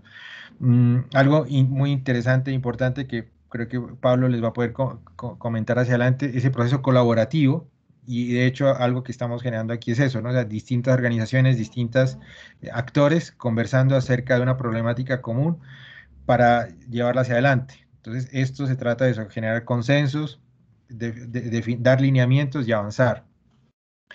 Y bueno, como tal, armonizar todo el mecanismo de interoperabilidad dentro de un marco normativo en el, ámbito nacional. Eh, adelante, creo que la última reflexión acerca de los retos que tendríamos. Entonces, requerimos definitivamente revisar los temas de infraestructura. Eh, somos conscientes que requerimos eh, de pronto los departamentos, distritos, distritos tienen conectividad, pero requerimos en los municipios tener mejor infraestructura, requerimos eh, estandarizar plataformas tecnológicas. Mm, sabemos que eh, eh, ha, evolucionado todo el tema de los dispositivos, la computación móvil y tendríamos que trabajar con estas líneas, con todo lo que vimos al, inicio de el, uso de, de la telemedicina, la telesalud y, los sistemas de monitoreo. O sea, ya hay, una gran potencia en la capacidad de desarrollo y bueno, entonces cómo vamos a, ir también siendo parte de, adoptarlos, pero también eh, siendo reguladores y, que esto se inserten como nuevas herramientas de, beneficio para el, para el sistema de salud. Seguridad de la información, protección de datos, eh, todo el tema de ciberseguridad alrededor de salud, eh, respetar los desarrollos de, los actores y eh, trabajar fuertemente en el tema de estándares y de interoperabilidad. Eh, cómo trabajar en esta línea que también nos comentaba la ingeniera Constanza, de no es un cambio solamente tecnológico, es una adopción que requiere cambios culturales y un, trabajo muy fuerte con, los, con los equipos de trabajo, con eh, conocimiento con la academia, con médicos, con los técnicos, con administrativos, o sea, gestión de cambio eh, importante. Eh, todo el tema de cultura, la, comunicación y la divulgación este, de, los resultados y, de cada uno de los hitos. Hay unos temas relacionados con medición, medición de resultados, sostenibilidad, incentivos. Vamos a tener cuidado, pues, que a veces cuando se incentiva algo también se desincentiva de pronto otras líneas, pero entonces queremos eh, ser cuidadosos y trabajar con este proceso de eh, no, decirles que no es solamente tener una plataforma y unos estándares listos, es toda una estrategia hacia cómo avanzar con un ecosistema que está construido por prestadores, aseguradores, eh, profesionales y, y, todos un, grupo que, es importante avanzar en una eh, idea común. De esa manera creo que eh, precisamente creo que Pablo puede contarnos un poquito más de cómo se, se aborda o se llevó hacia adelante la experiencia de, Uruguay y creo que es como la, siguiente reflexión que tenemos adelante. Así que por ahora yo dejaría allí y agradecerles por el tiempo y ya nos vemos más adelante.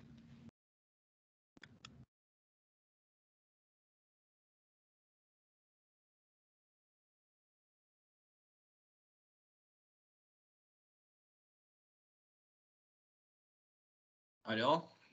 Bueno, buenos, buenos días a todos. Días a todos. Agradecer al Ministerio de Salud, agradecer a, en las personas de la, ingeniera Constanza Rodríguez, Weimar Pasos, este, el ingeniero Pautilla. Eh, la idea es un poco contarles el caso de Uruguay. ¿Están viendo mi pantalla? Sí, señor, sí, ingeniero. Bárbaro. Me pidieron que contara un poquito este caso Uruguay, van a encontrar muchas similitudes, van a encontrar lecciones aprendidas, así que sin más pasamos directo al, a la presentación. Mi nombre es Pablo Orefice, como les decía, yo lideré el proceso de, salud UI, que es, el nombre de la, de la iniciativa en Uruguay, la estrategia de, de transformación digital del sector, por más de cinco años transformamos, digamos, lo, que son los procesos y el abordaje del uso intensivo de las tecnologías en el sector. Lo hicimos a partir de, una iniciativa nacional para todo el país. Trabajamos desde la presidencia de la República, desde el gobierno electrónico, en articulación con el Ministerio de Salud, en articulación con el Ministerio de Economía y Finanzas, porque entendimos que muy prontamente se entendió que un, programa, digamos, donde hay muchos proyectos adentro, es un programa de, este, de, este, esta índole, de esta, con, este, con estas prioridades que tenían a nivel de gobierno, debía, debía dedicarse exclusivamente a esto, debía trabajar directamente con objetivos, con metas, pero de forma exclusiva y dedicada, y no estar en, un, en, un, entorno donde efectivamente hay otros, otros incendios, otras tareas operativas para llevar adelante y eso pudiese distraer el objetivo de las metas. Así que Uruguay determinó un equipo de trabajo, lo alojó con un comité de dirección, como yo les decía, y le brindó un alcance nacional a la iniciativa. Cuando decimos un alcance nacional, efectivamente es identificar cuál es el ecosistema, como bien decía la ingeniera Constanza en ese dibujo de gobernanza que, que, elaboró el, vuestro ministro de Salud. Y todos tienen, que, todos tienen que participar, todos tienen que ser parte activa del el diálogo, como lo están haciendo ustedes actualmente con estas ediciones, donde tienen que mostrar su perspectiva, tienen que, dejar plasmado su, su pensar, y eso no lo solamente lo hicimos en la construcción, sino lo hicimos también en la elaboración, diseño y seguimiento de los proyectos que veníamos haciendo, porque obviamente todos los proyectos hay que irlos ajustando. Y efectivamente el aporte no solamente de los prestadores, no solamente del órgano auditor, sino de la academia, de los profesionales actuantes, de los propios usuarios, de todos nosotros que somos pacientes, eh, y teniendo en cuenta muchas veces principios y, pautas internacionales, es que trabajamos y terminamos de concebir, lo que finalmente hoy tenemos instalado y trabajando fuertemente todo el sector con ello. Es un proceso mediano y de largo plazo, en, nuestro caso llevó más de nueve años, ocho años, pero efectivamente son procesos que se vienen dando, son procesos que, que hay que construirlos porque son, pasan los gobiernos, deben ser políticas de Estado, pero una vez que el ecosistema está este, en ese consenso, en ese acuerdo, con esa visión compartida hacia adelante, los temas van avanzando. Y van avanzando y se van generando estándares, se van generando guías, se van generando interoperabilidad y efectivamente logramos este, llegar al punto del intercambio de información, que era un poco lo que hablaba el ingeniero Pautilla, este, y la ingeniería Constanza al intercambio de información propiamente dicho entre instituciones de salud, entre la seguridad social, entre el, ministerio, entre el privado. Eh, lo, logramos hacer a principios de 2019 y hoy estamos haciendo usufructo de todos esos, esos, beneficios comentados. Para nosotros, la, historia clínica, la histórica la definimos a nivel normativo, y le hicimos a semejanza de la historia clínica papel, o sea, esa visión longitudinal de la historia a lo largo del curso de vida de, un paciente. Y con independencia de dónde se genera, eh, eh, geográficamente, institucionalmente, o sea, la historia es de la persona y lo acompaña por toda la vida y esa visión longitudinal de la misma es la que decide, digamos, y, la que todos habrán escuchado a nivel de su formación. Pero básicamente el problema lo dividimos en dos grandes partes y, es, y es importante, muy importante que se entienda que hay dos partidos a seguir. Hay, dos, grandes proyectos que este, uno tiene que tener claro sus diferencias y no lo puede mezclar. Uno es la plataforma de interoperabilidad. Uno es cómo hago, ya sea dentro de la red que tiene el Ministerio de Salud, ya sea dentro de la red de efectores este, públicos o ya sea a nivel nacional, como fue el caso de, Uruguay, ¿cómo hago para que la información salga de esas instituciones y vaya al lugar donde ese paciente se esté atendiendo en ese momento y le sirva como información completa, integral, que contribuya a la continuidad del cuidado de esa persona para que ese equipo de salud, ese, profesional médico, quienes lo esté atendiendo, cuente con esa información en forma oportuna. ¿Cómo, ¿Cómo, hacemos ese proceso? ¿Cómo hacemos para que un resultado laboratorio llegue ahí? ¿Cómo hacemos para que una atención de emergencia que se sucedió en, en otro lugar geográfico llegue para ese control? Eso, eso en el mundo se trabaja a través de plataformas de interoperabilidad.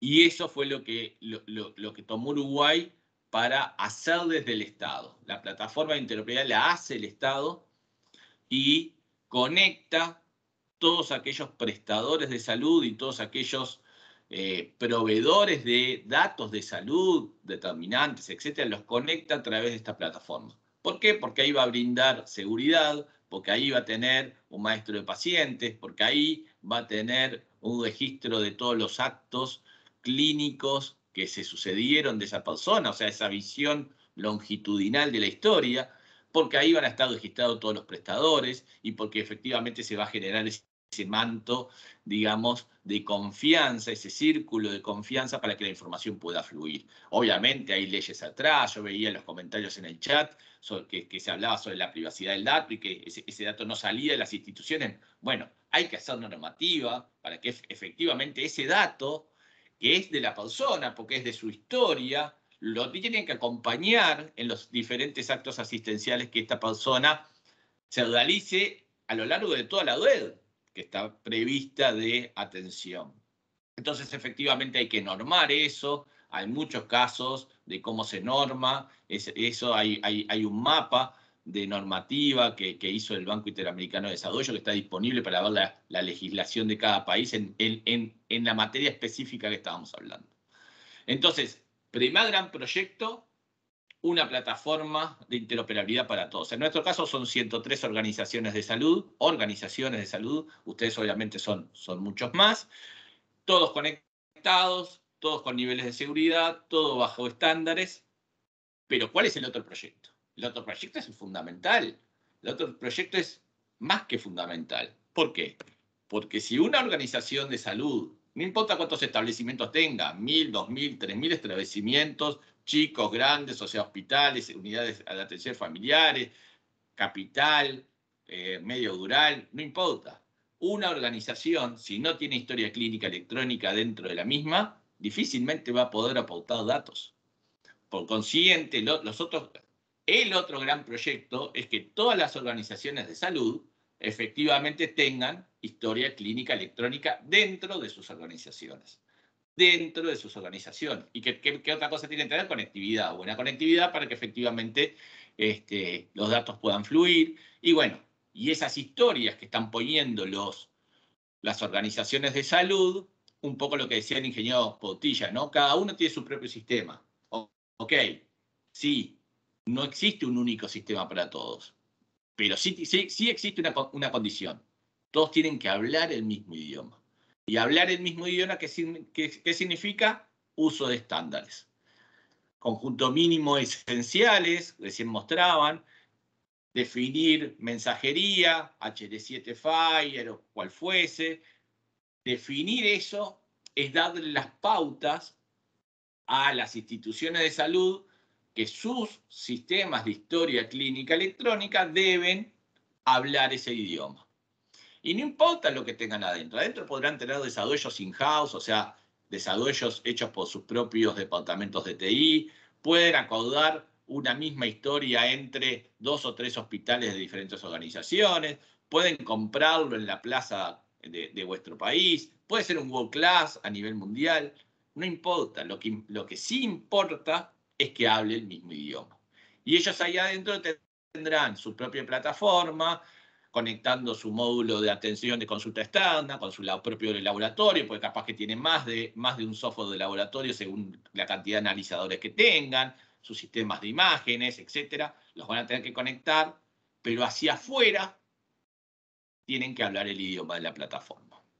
Y ese es el otro gran desafío, y esos son dos proyectos diferentes que hay que tener claro que tienen, son objetivos diferentes, con personas diferentes que tienen que cumplirlos. Otra de las ventajas que, como beneficio directo de todo esto es que los, ciudadanos, ustedes, yo o pacientes, podemos acceder a nuestra historia clínica digital unificada. Ya nos olvidamos de esos portales de yo soy de tal EPS y veo solamente lo que ocurre en esa EPS o veo solamente lo que me muestra esa EPS. No, yo tengo un lugar que me brinda el Estado, donde yo veo mi historia no importa dónde se suceda. La, eh, la consulta externa pudo haberse sucedido en Cundinamarca, pero la atención de urgencia se, se, organizó en Bogotá. Yo la veo y la veo con mi línea de tiempo, con mi visión longitudinal, como decíamos, porque son mis datos. Y eso es un beneficio que, que se obtuvo.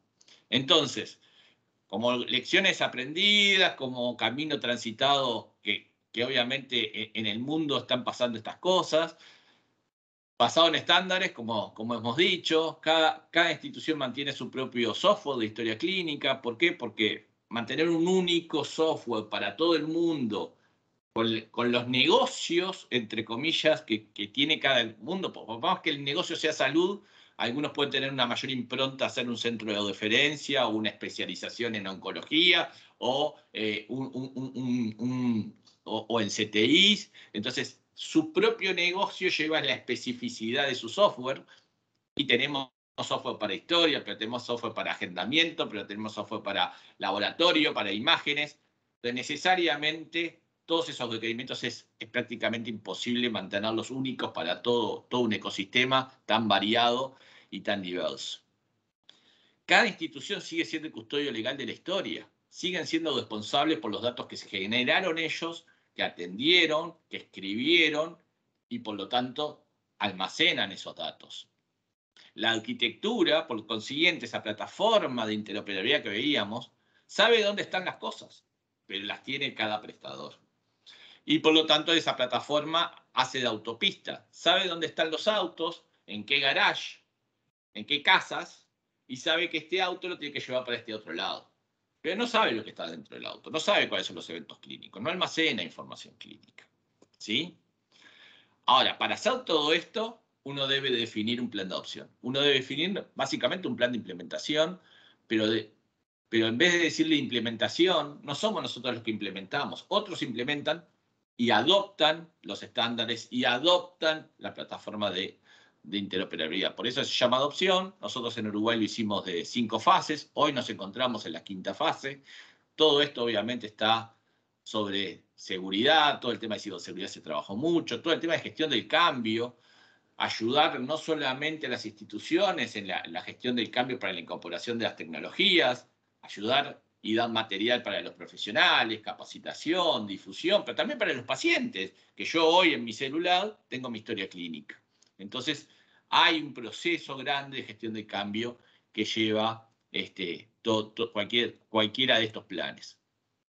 Y al igual que ustedes, y me alegra muchísimo que, que, lo haya comentado el ingeniero Pautilla, eh, hay que hacer pruebas, hay que hacer pruebas porque hay que tangibilizar, hay que, hay que sacarle el miedo. Por ahí yo también veía un, mensaje en el chat que hablaba sobre, bueno, siempre se quiso interoperar y nunca pudimos.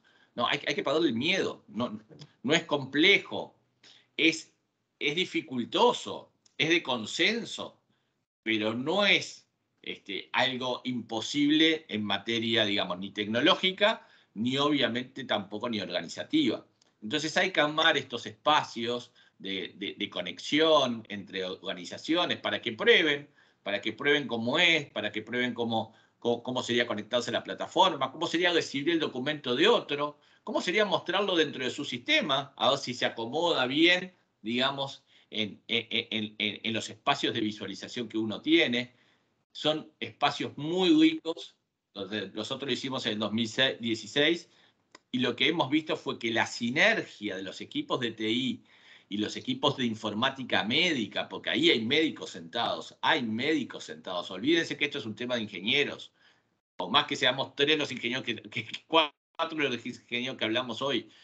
Esto es un tema de la salud. Ahí hay médicos sentados probando, mandando información, viendo si un dato le sirve para la continuidad asistencial o no. O sea, el dato que yo pongo acá le va a, seguir, le va, le va a servir al siguiente, es de valor. Entonces, e, e, e, es, un ejercicio muy lindo, muy lindo, y, ojalá tengan un éxito audible como, lo tuvimos nosotros. ¿Cómo estamos? Simplemente para mostrar la foto final. Eh, los números del 2022 todavía no, los, no los, hemos terminado de procesar, pero este, que, lo hicimos sobre finales del, 21. Eh, pero básicamente para que tengan una idea, ¿no? lo primero son las instituciones, lo que decíamos. ¿Cómo crecen las instituciones incorporando historia clínica en sus propias organizaciones? Cuando nosotros empezamos, que los medimos, había un 8% que no tenía sistema. No tenía sistema, era todo papel. No había nada de sistema. Y casi el 65% su mayoría de datos era papel.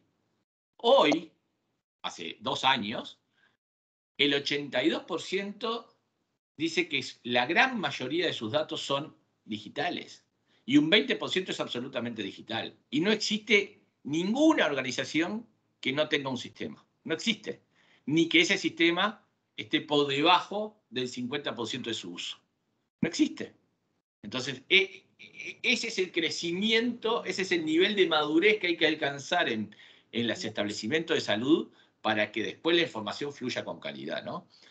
Pero, pero ¿qué dicen los profesionales? Los profesionales, dos de cada tres profesionales declara eh, haber usado el sistema, eso viene en aumento, como lo están viendo, y declara satisfacción sobre el uso de las historias clínicas digitales.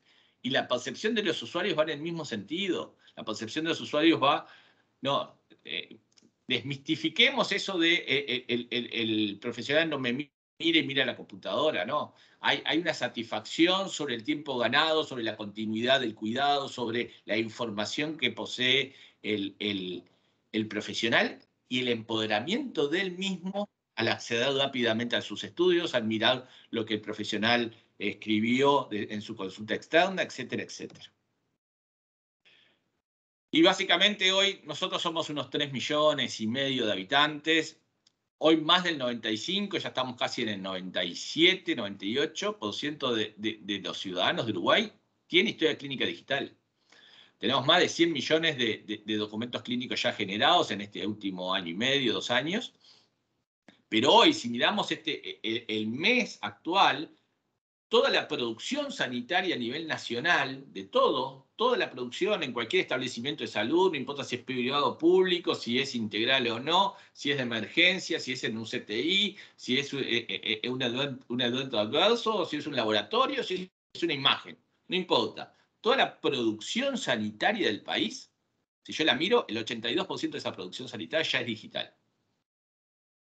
A esto hemos llegado y esto obviamente nos ha permitido otras cosas, como conectar todo y, prepararnos para la pandemia. Y en nuestra aplicación no solamente vemos los, resultados de los test inmediatamente, sino que bueno, hoy, hoy ya tenemos hasta, hasta el, el código de, QR validado con la Unión Europea sobre las vacunas y sobre los estados eh, de salud de cada uno de nosotros. Así que volviendo un poquito y haciendo este, un poquito de... Me dijeron que este es un diálogo, entonces queríamos dejarles algunas cositas como para que, para que puedan ser esos disparadores del diálogo, ¿no? Este, ¿Por qué una estrategia, una estrategia de transformación digital en salud propiamente? porque necesita un acuerdo político, necesita una construcción colectiva, necesita una visión compartida, necesita generar un contexto habilitante para que las cosas sucedan. Como veíamos, hay inversión del Estado en una plataforma de, interoperabilidad, pero también hay inversión en las organizaciones para, para digitalizarse, para hacer su propia transformación digital. Entonces tiene que haber un convencimiento, tiene que haber compromisos de los administradores y certezas en el ecosistema sobre dónde vamos. La inversión tiene que tener certezas a cuál puerto queremos ir. Entonces necesitamos establecer planes de acción, necesitamos generar inversión, necesitamos clarificar ese puerto. Así, con, alineando los lineamientos, con todos sentados en la mesa, como decíamos hoy, ¿no? Y diciendo hacia allí vamos, es que se logran esas cosas hay que identificar factores críticos de éxito para avanzar, hay que generar victorias tempranas para avanzar, hay que generar efectivamente esos hitos que nos permiten hacer un, trayecto de mediano y largo plazo. Y otra cosa que obviamente hay que destinar es recursos, establecer que, haya talento humano, por ejemplo, se generan los, los ámbitos de capacitación, etcétera, para que esto pueda avanzar. Pero para que esto avance se necesita gobernanza. Y ustedes veían el dibujo, este, el círculo que había hecho vuestro ministro. Y básicamente eh, tiene mucho, mucho de lo que les, voy a contar. Ese, esa, esa gobernanza necesariamente tiene que estar alineada a los objetivos sanitarios y a la mejora continua del propio país y al sistema de salud del país. O sea, no, no podemos tomar eh, ejemplos de otros países, porque el sistema de salud de Uruguay es totalmente diferente al sistema de salud de, Colombia, que es diferente al de Chile, que es diferente al de Estados Unidos, etcétera, por más que algunos tengan orientaciones similares. La participación de todo el ecosistema tiene que estar involucrado no solamente en la fase inicial, sino durante el proceso, como habíamos dicho. El ciudadano, el paciente, debe recibir su atención oportuna, con acceso y calidad, y la información es parte de esa variable que genera calidad en la atención. Ah, tenemos a un personal de salud o equipo de salud que necesita contar con esa información para generar e, e, esas atenciones de calidad. Y obviamente las, organizaciones sanitarias, los prestadores, eh, son más eficientes en la medida que tienen información, son más eficientes en la manera que saben usar esos datos, son más eficientes en la medida que están digitalizadas y aplican realmente una transformación digital. Así que hay que buscarle también esos beneficios para que efectivamente sean un actor protagónico ah, e, en, este ecosistema. ¿no? Tenemos que, y hay que promover el, desarrollo de capital humano, que ya lo decía la ingeniera Constanza, este, fuertemente, y, y darse cuenta que los datos de salud están disponibles para todas las capas, para todas las capas. O sea, para la capa de la atención directa, para la continuidad de la asistencia, como bien se decía, para la toma de decisión, pero también para el uso secundario, para que un organismo pueda generar políticas de salud más, más, más adecuadas, de acuerdo a la información que obtiene, para que la academia pueda investigar, eh, este, hay, para que los sectores puedan innovar. Así que hay, que darle gobernabilidad y hay que darle gobernanza a esa información. La OPS hace, hace muy poco acordó con todos los países ocho principios vectores, no los voy a nombrar, ustedes seguramente los conozcan, pero ocho principios vectores donde las diferentes estrategias de los diferentes países deben caminar hacia, hacia allí, tenerlos presentes. El Banco Interamericano trabaja estas estrategias basado en, seis dimensiones, muchas de estas cosas ya, se vieron, pero, pero lo, lo importante acá es, hay material, hay material de, de referencia, hay material como para que cuando uno diseñe, no diseñe y haya un, un, espacio que no lo tuvo en cuenta. No, hay que, hay, es multidisciplinario, es multisectorial, pero también hay varias perspectivas en estas dimensiones, en esos principios, para tener en cuenta para que esto sea más sostenible. Tengan en cuenta que ya hay más de 10 agendas o planes estratégicos de salud en la región, en América Latina y el Caribe, y hay cinco países que están elaborando esta, estas estrategias. Por lo tanto, no, no es un tema descolgado, no es un tema que, que, esté aislado, es un tema que efectivamente toda la región viene fuertemente trabajando. Y quiero finalizar con por qué un equipo dedicado. Por lo que les decía al principio, que fueron un poco las razones que, que nosotros vimos, pero que también tomamos de, ejemplo de otros países de Europa y, y, Oceanía, ¿no?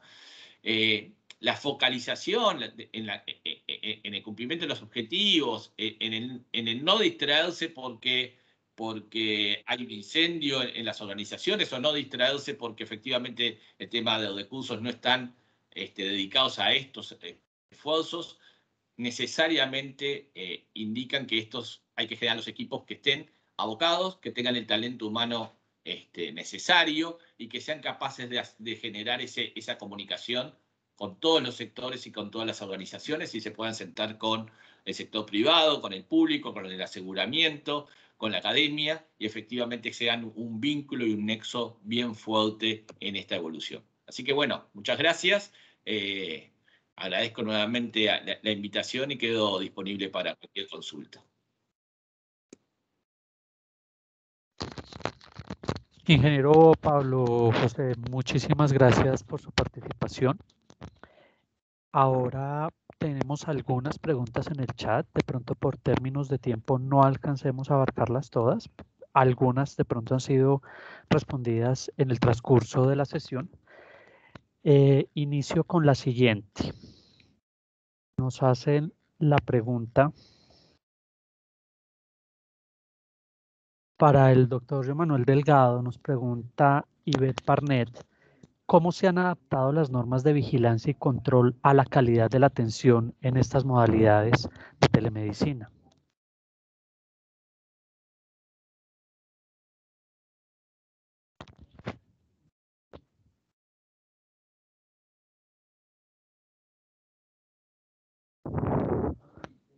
O si la doctora Constanza nos puede colaborar.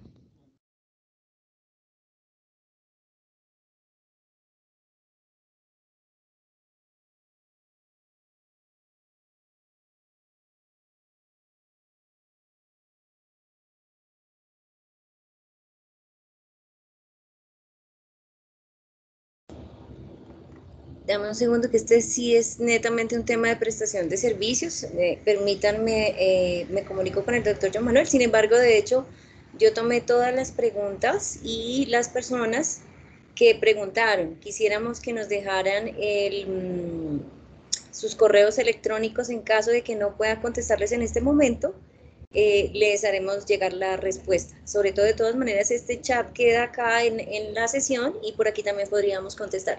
Sin embargo, permíteme un segundo, Mauricio, si puedes continuar con la siguiente pregunta.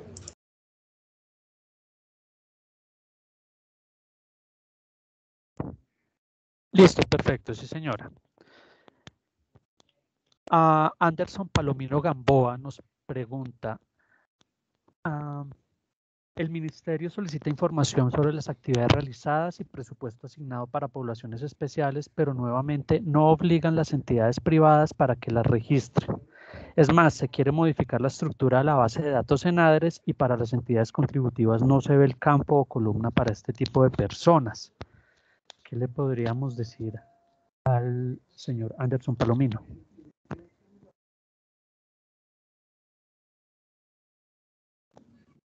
A ver, una reflexión que podemos hacer allí, eh, gracias Anderson, algo que, también estamos viendo dentro del ministerio es que efectivamente eh, el ministerio tiene unas fuentes, como mirábamos, importantes también. Eh, el, Ministerio de Salud tiene, miramos una, las bases de datos de las más eh, completas o de las más grandes del país. Y de alguna forma, y, estábamos hablando entonces de, interoperar con prestadores y aseguradores. Seguramente también una de las estrategias que, y de los datos que también puedan ser parte de los RDA, del RDA nacional, ¿cierto? Del resumen, sean datos que tengamos en las fuentes nacionales. Eh, y algunas podrían ser precisamente datos de ADRES o de los sistemas de, de MIPRES o del sistema de, de, los sistemas de alto costo. Eh, son fuentes o de los sistemas de nacidos vivos, de vacunación, ¿ya?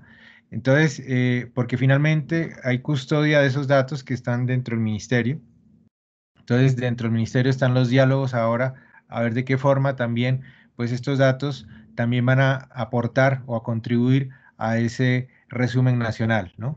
Yo creo que por ahí podría eh, dejar como la reflexión, ¿no? O sea, decirles que también somos conscientes de que existen unos datos importantes ya depurados y estamos viendo de qué forma podemos también eh, utilizarlos en, la que sean parte del, eh, del, resumen nacional clínico, obviamente con los eh, consensos, con las organizaciones y demás. Son procesos que queremos también acompañar.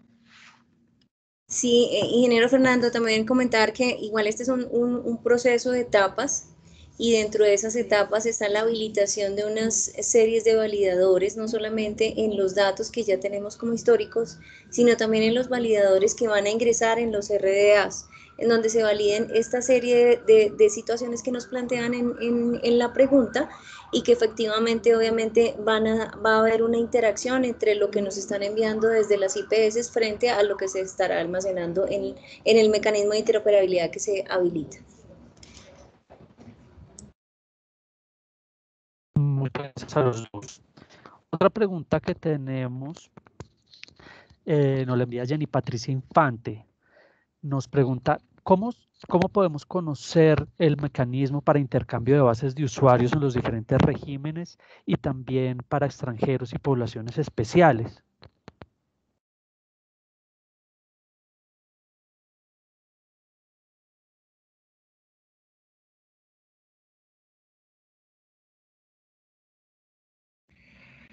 Bueno, eh, algo que, podemos eh, aportar allí es que eh, estamos, uno de los componentes de la plataforma de interoperabilidad eh, es un maestro índice de pacientes. Y el maestro índice de pacientes eh, también precisamente con las oficinas de tecnología del ministerio y, también de, los equipos, lo que queremos es eh, ver, hay información también de, de afiliaciones, hay información también de migraciones, entonces queremos tener como el, índice maestro de pacientes, es un componente que gestionará la información demográfica. Entonces, eh, y ese es, uno de los componentes de la plataforma. Y ya técnicamente lo que luego se hace es precisamente en estos procesos de talleres y de jornadas técnicas es cómo acceder, cómo consultar y cómo en el caso de que los datos de un paciente no estén, pues cómo ingresarlo, ¿no? Eh, eso, entonces vamos a utilizar o, estamos también en, el proceso de utilizar datos que hoy están ya eh, más depurados dentro del RUAF, dentro de la base de datos única de afiliados y que son parte de, eh, hoy de, los registros nacionales con la idea de simplificar las fuentes de información, ¿no? O sea, si ya existen los datos en algún lado, pues buscaríamos utilizarlos, ¿ya? Ahora, para utilizarlos efectivamente sí, sí, requerimos unas validaciones de los organismos, de los temas funcionales, fundacionales, pero eso es parte de lo que no, no, quisiéramos volver a pedir datos que ya los tiene, ya el ministerio los tiene. Si, ya existen en el ministerio, utilicémoslos y proveámoslos. Ese es como el, el principio, ¿no?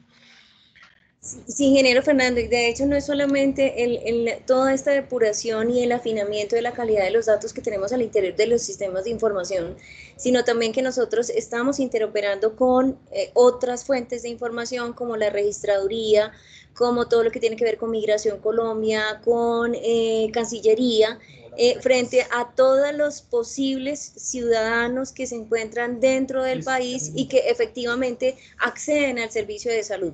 Como bien lo dijo el, ingeniero Portilla, pues no es, nosotros no necesitamos pedirle nuevamente a las IPS la caracterización de un ciudadano, que no es solamente unas, como unas calidades que, tiene, que tenemos cada uno de nosotros, sino que también en algún momento vamos, va a estar determinado también por unos momentos de vida y también por unos determinantes sociales. El, doctor Joan Manuel estaba levantando la mano, creo que quiere fortalecer la respuesta. Eh, sí, digamos, eh, y gracias Constanza y a, los compañeros panelistas, eh, pues nos asisten en todo el país diferentes preocupaciones y diferentes realidades, ¿no? Para algunos territorios la preocupación es que estamos hablando de interoperabilidad y en algunos territorios lo único que tenemos es la historia clínica en una carpeta eh, el médico y, la enfermera registran los datos clínicos del paciente en papel. Y claramente poner a interoperar documentos de papel con sistemas digitales tiene un nivel alto de complejidad. Entonces, digamos, hay realidades eh, muy divergentes y hay brechas muy importantes en los territorios.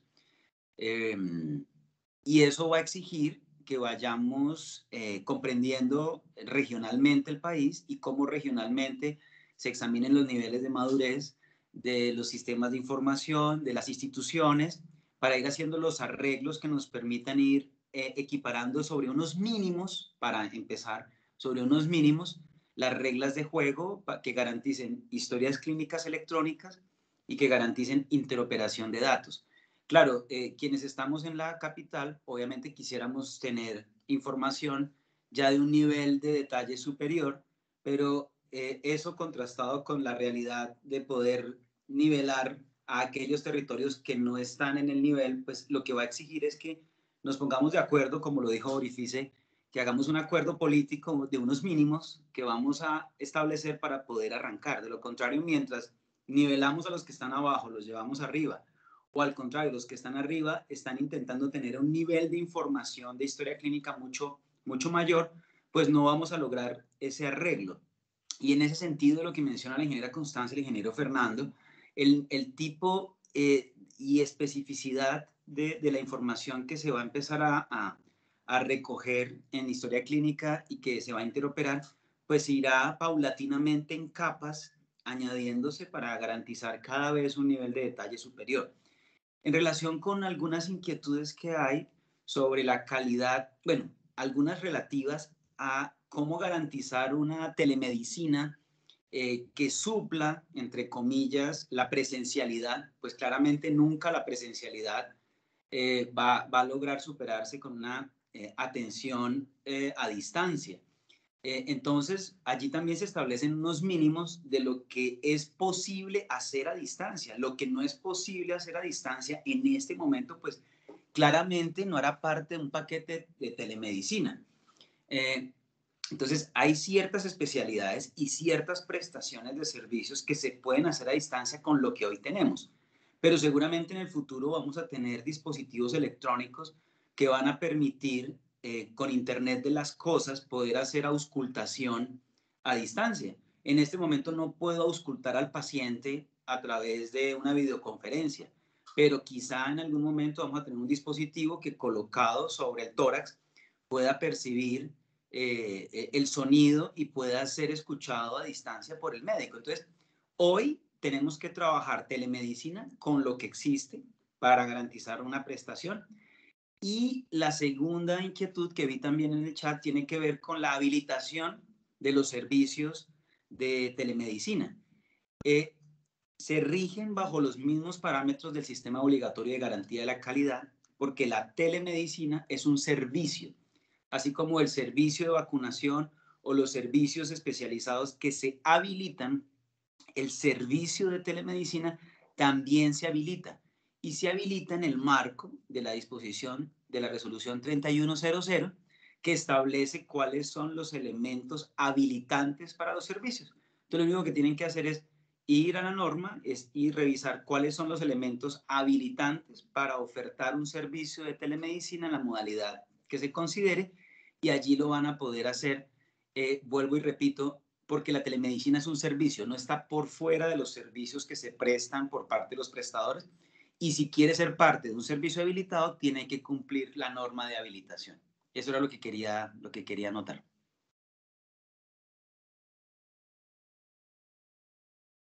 Mauricio. Mil, gracias, doctor. Eh, bueno, creo que ya estamos como llegando a la final de nuestra, al final de nuestra sesión. Ya lo dijo la doctora Constanza hace un momento. Si tienen eh, nuevas eh, interrogantes acerca de este tema, bien puedan escribirnos. Voy a dejar mi correo electrónico aquí en el chat por si tienen alguna solicitud adicional que podamos de pronto responderla a través de correo electrónico. Eh, doctor Weimar, eh, le doy paso a, usted para cerrar nuestra sesión. Eh, bueno, definitivamente agradecemos a todos nuestros expositores por su tiempo y esfuerzo que se tomaron para compartir todas esas experiencias, toda esta información con nosotros y sobre todo también un agradecimiento a todas las personas que nos acompañan hoy, que hemos tenido una muy buena acogida en este, en este primer diálogo de este año. Créanme que esos diálogos hemos estado realizándolos eh, con el propósito de precisamente interactuar con eh, las diferentes eh, entes territoriales, con los diferentes actores de, de, todo este sistema y que para nosotros es muy placentero ver cómo cada vez estamos teniendo mayor acogida dentro de esto. Entonces, Gracias de nuevo y eh, efectivamente, obviamente también a todo el equipo de la Oficina Asesora de Planeación, quienes hacen un esfuerzo inmenso para que eh, podamos tener eh, este, estos invitados en los cuales podamos aprender tanto sobre ustedes. Entonces, pues muchísimas gracias. quedamos entonces prestos para un próximo diálogo y a todas las personas que nos acompañan hoy, pues de nuevo también estarán invitados. Entonces, Mauricio. Bueno, mil gracias, eh, ingeniero Weimar, ingeniera Constanza, doctor John Manuel, doctor Fernando Portilla, doctor Pablo, por su presentación, por su participación y estar aquí con nosotros. Eh, les estaremos llegando a todos nuestros participantes eh, en próximos días la, las memorias de esta sesión y, y esta presentación estará publicada en el canal de YouTube del Ministerio para consultas posteriores. Nuevamente mil gracias a todos, les deseo un muy feliz día, feliz almuerzo y que pasen un muy buen día. Bueno, muchas gracias a todos los organizadores y felicitaciones a mis compañeros y colegas. Hasta luego. Gracias. Gracias. Hasta luego, buen día, gracias. Gracias.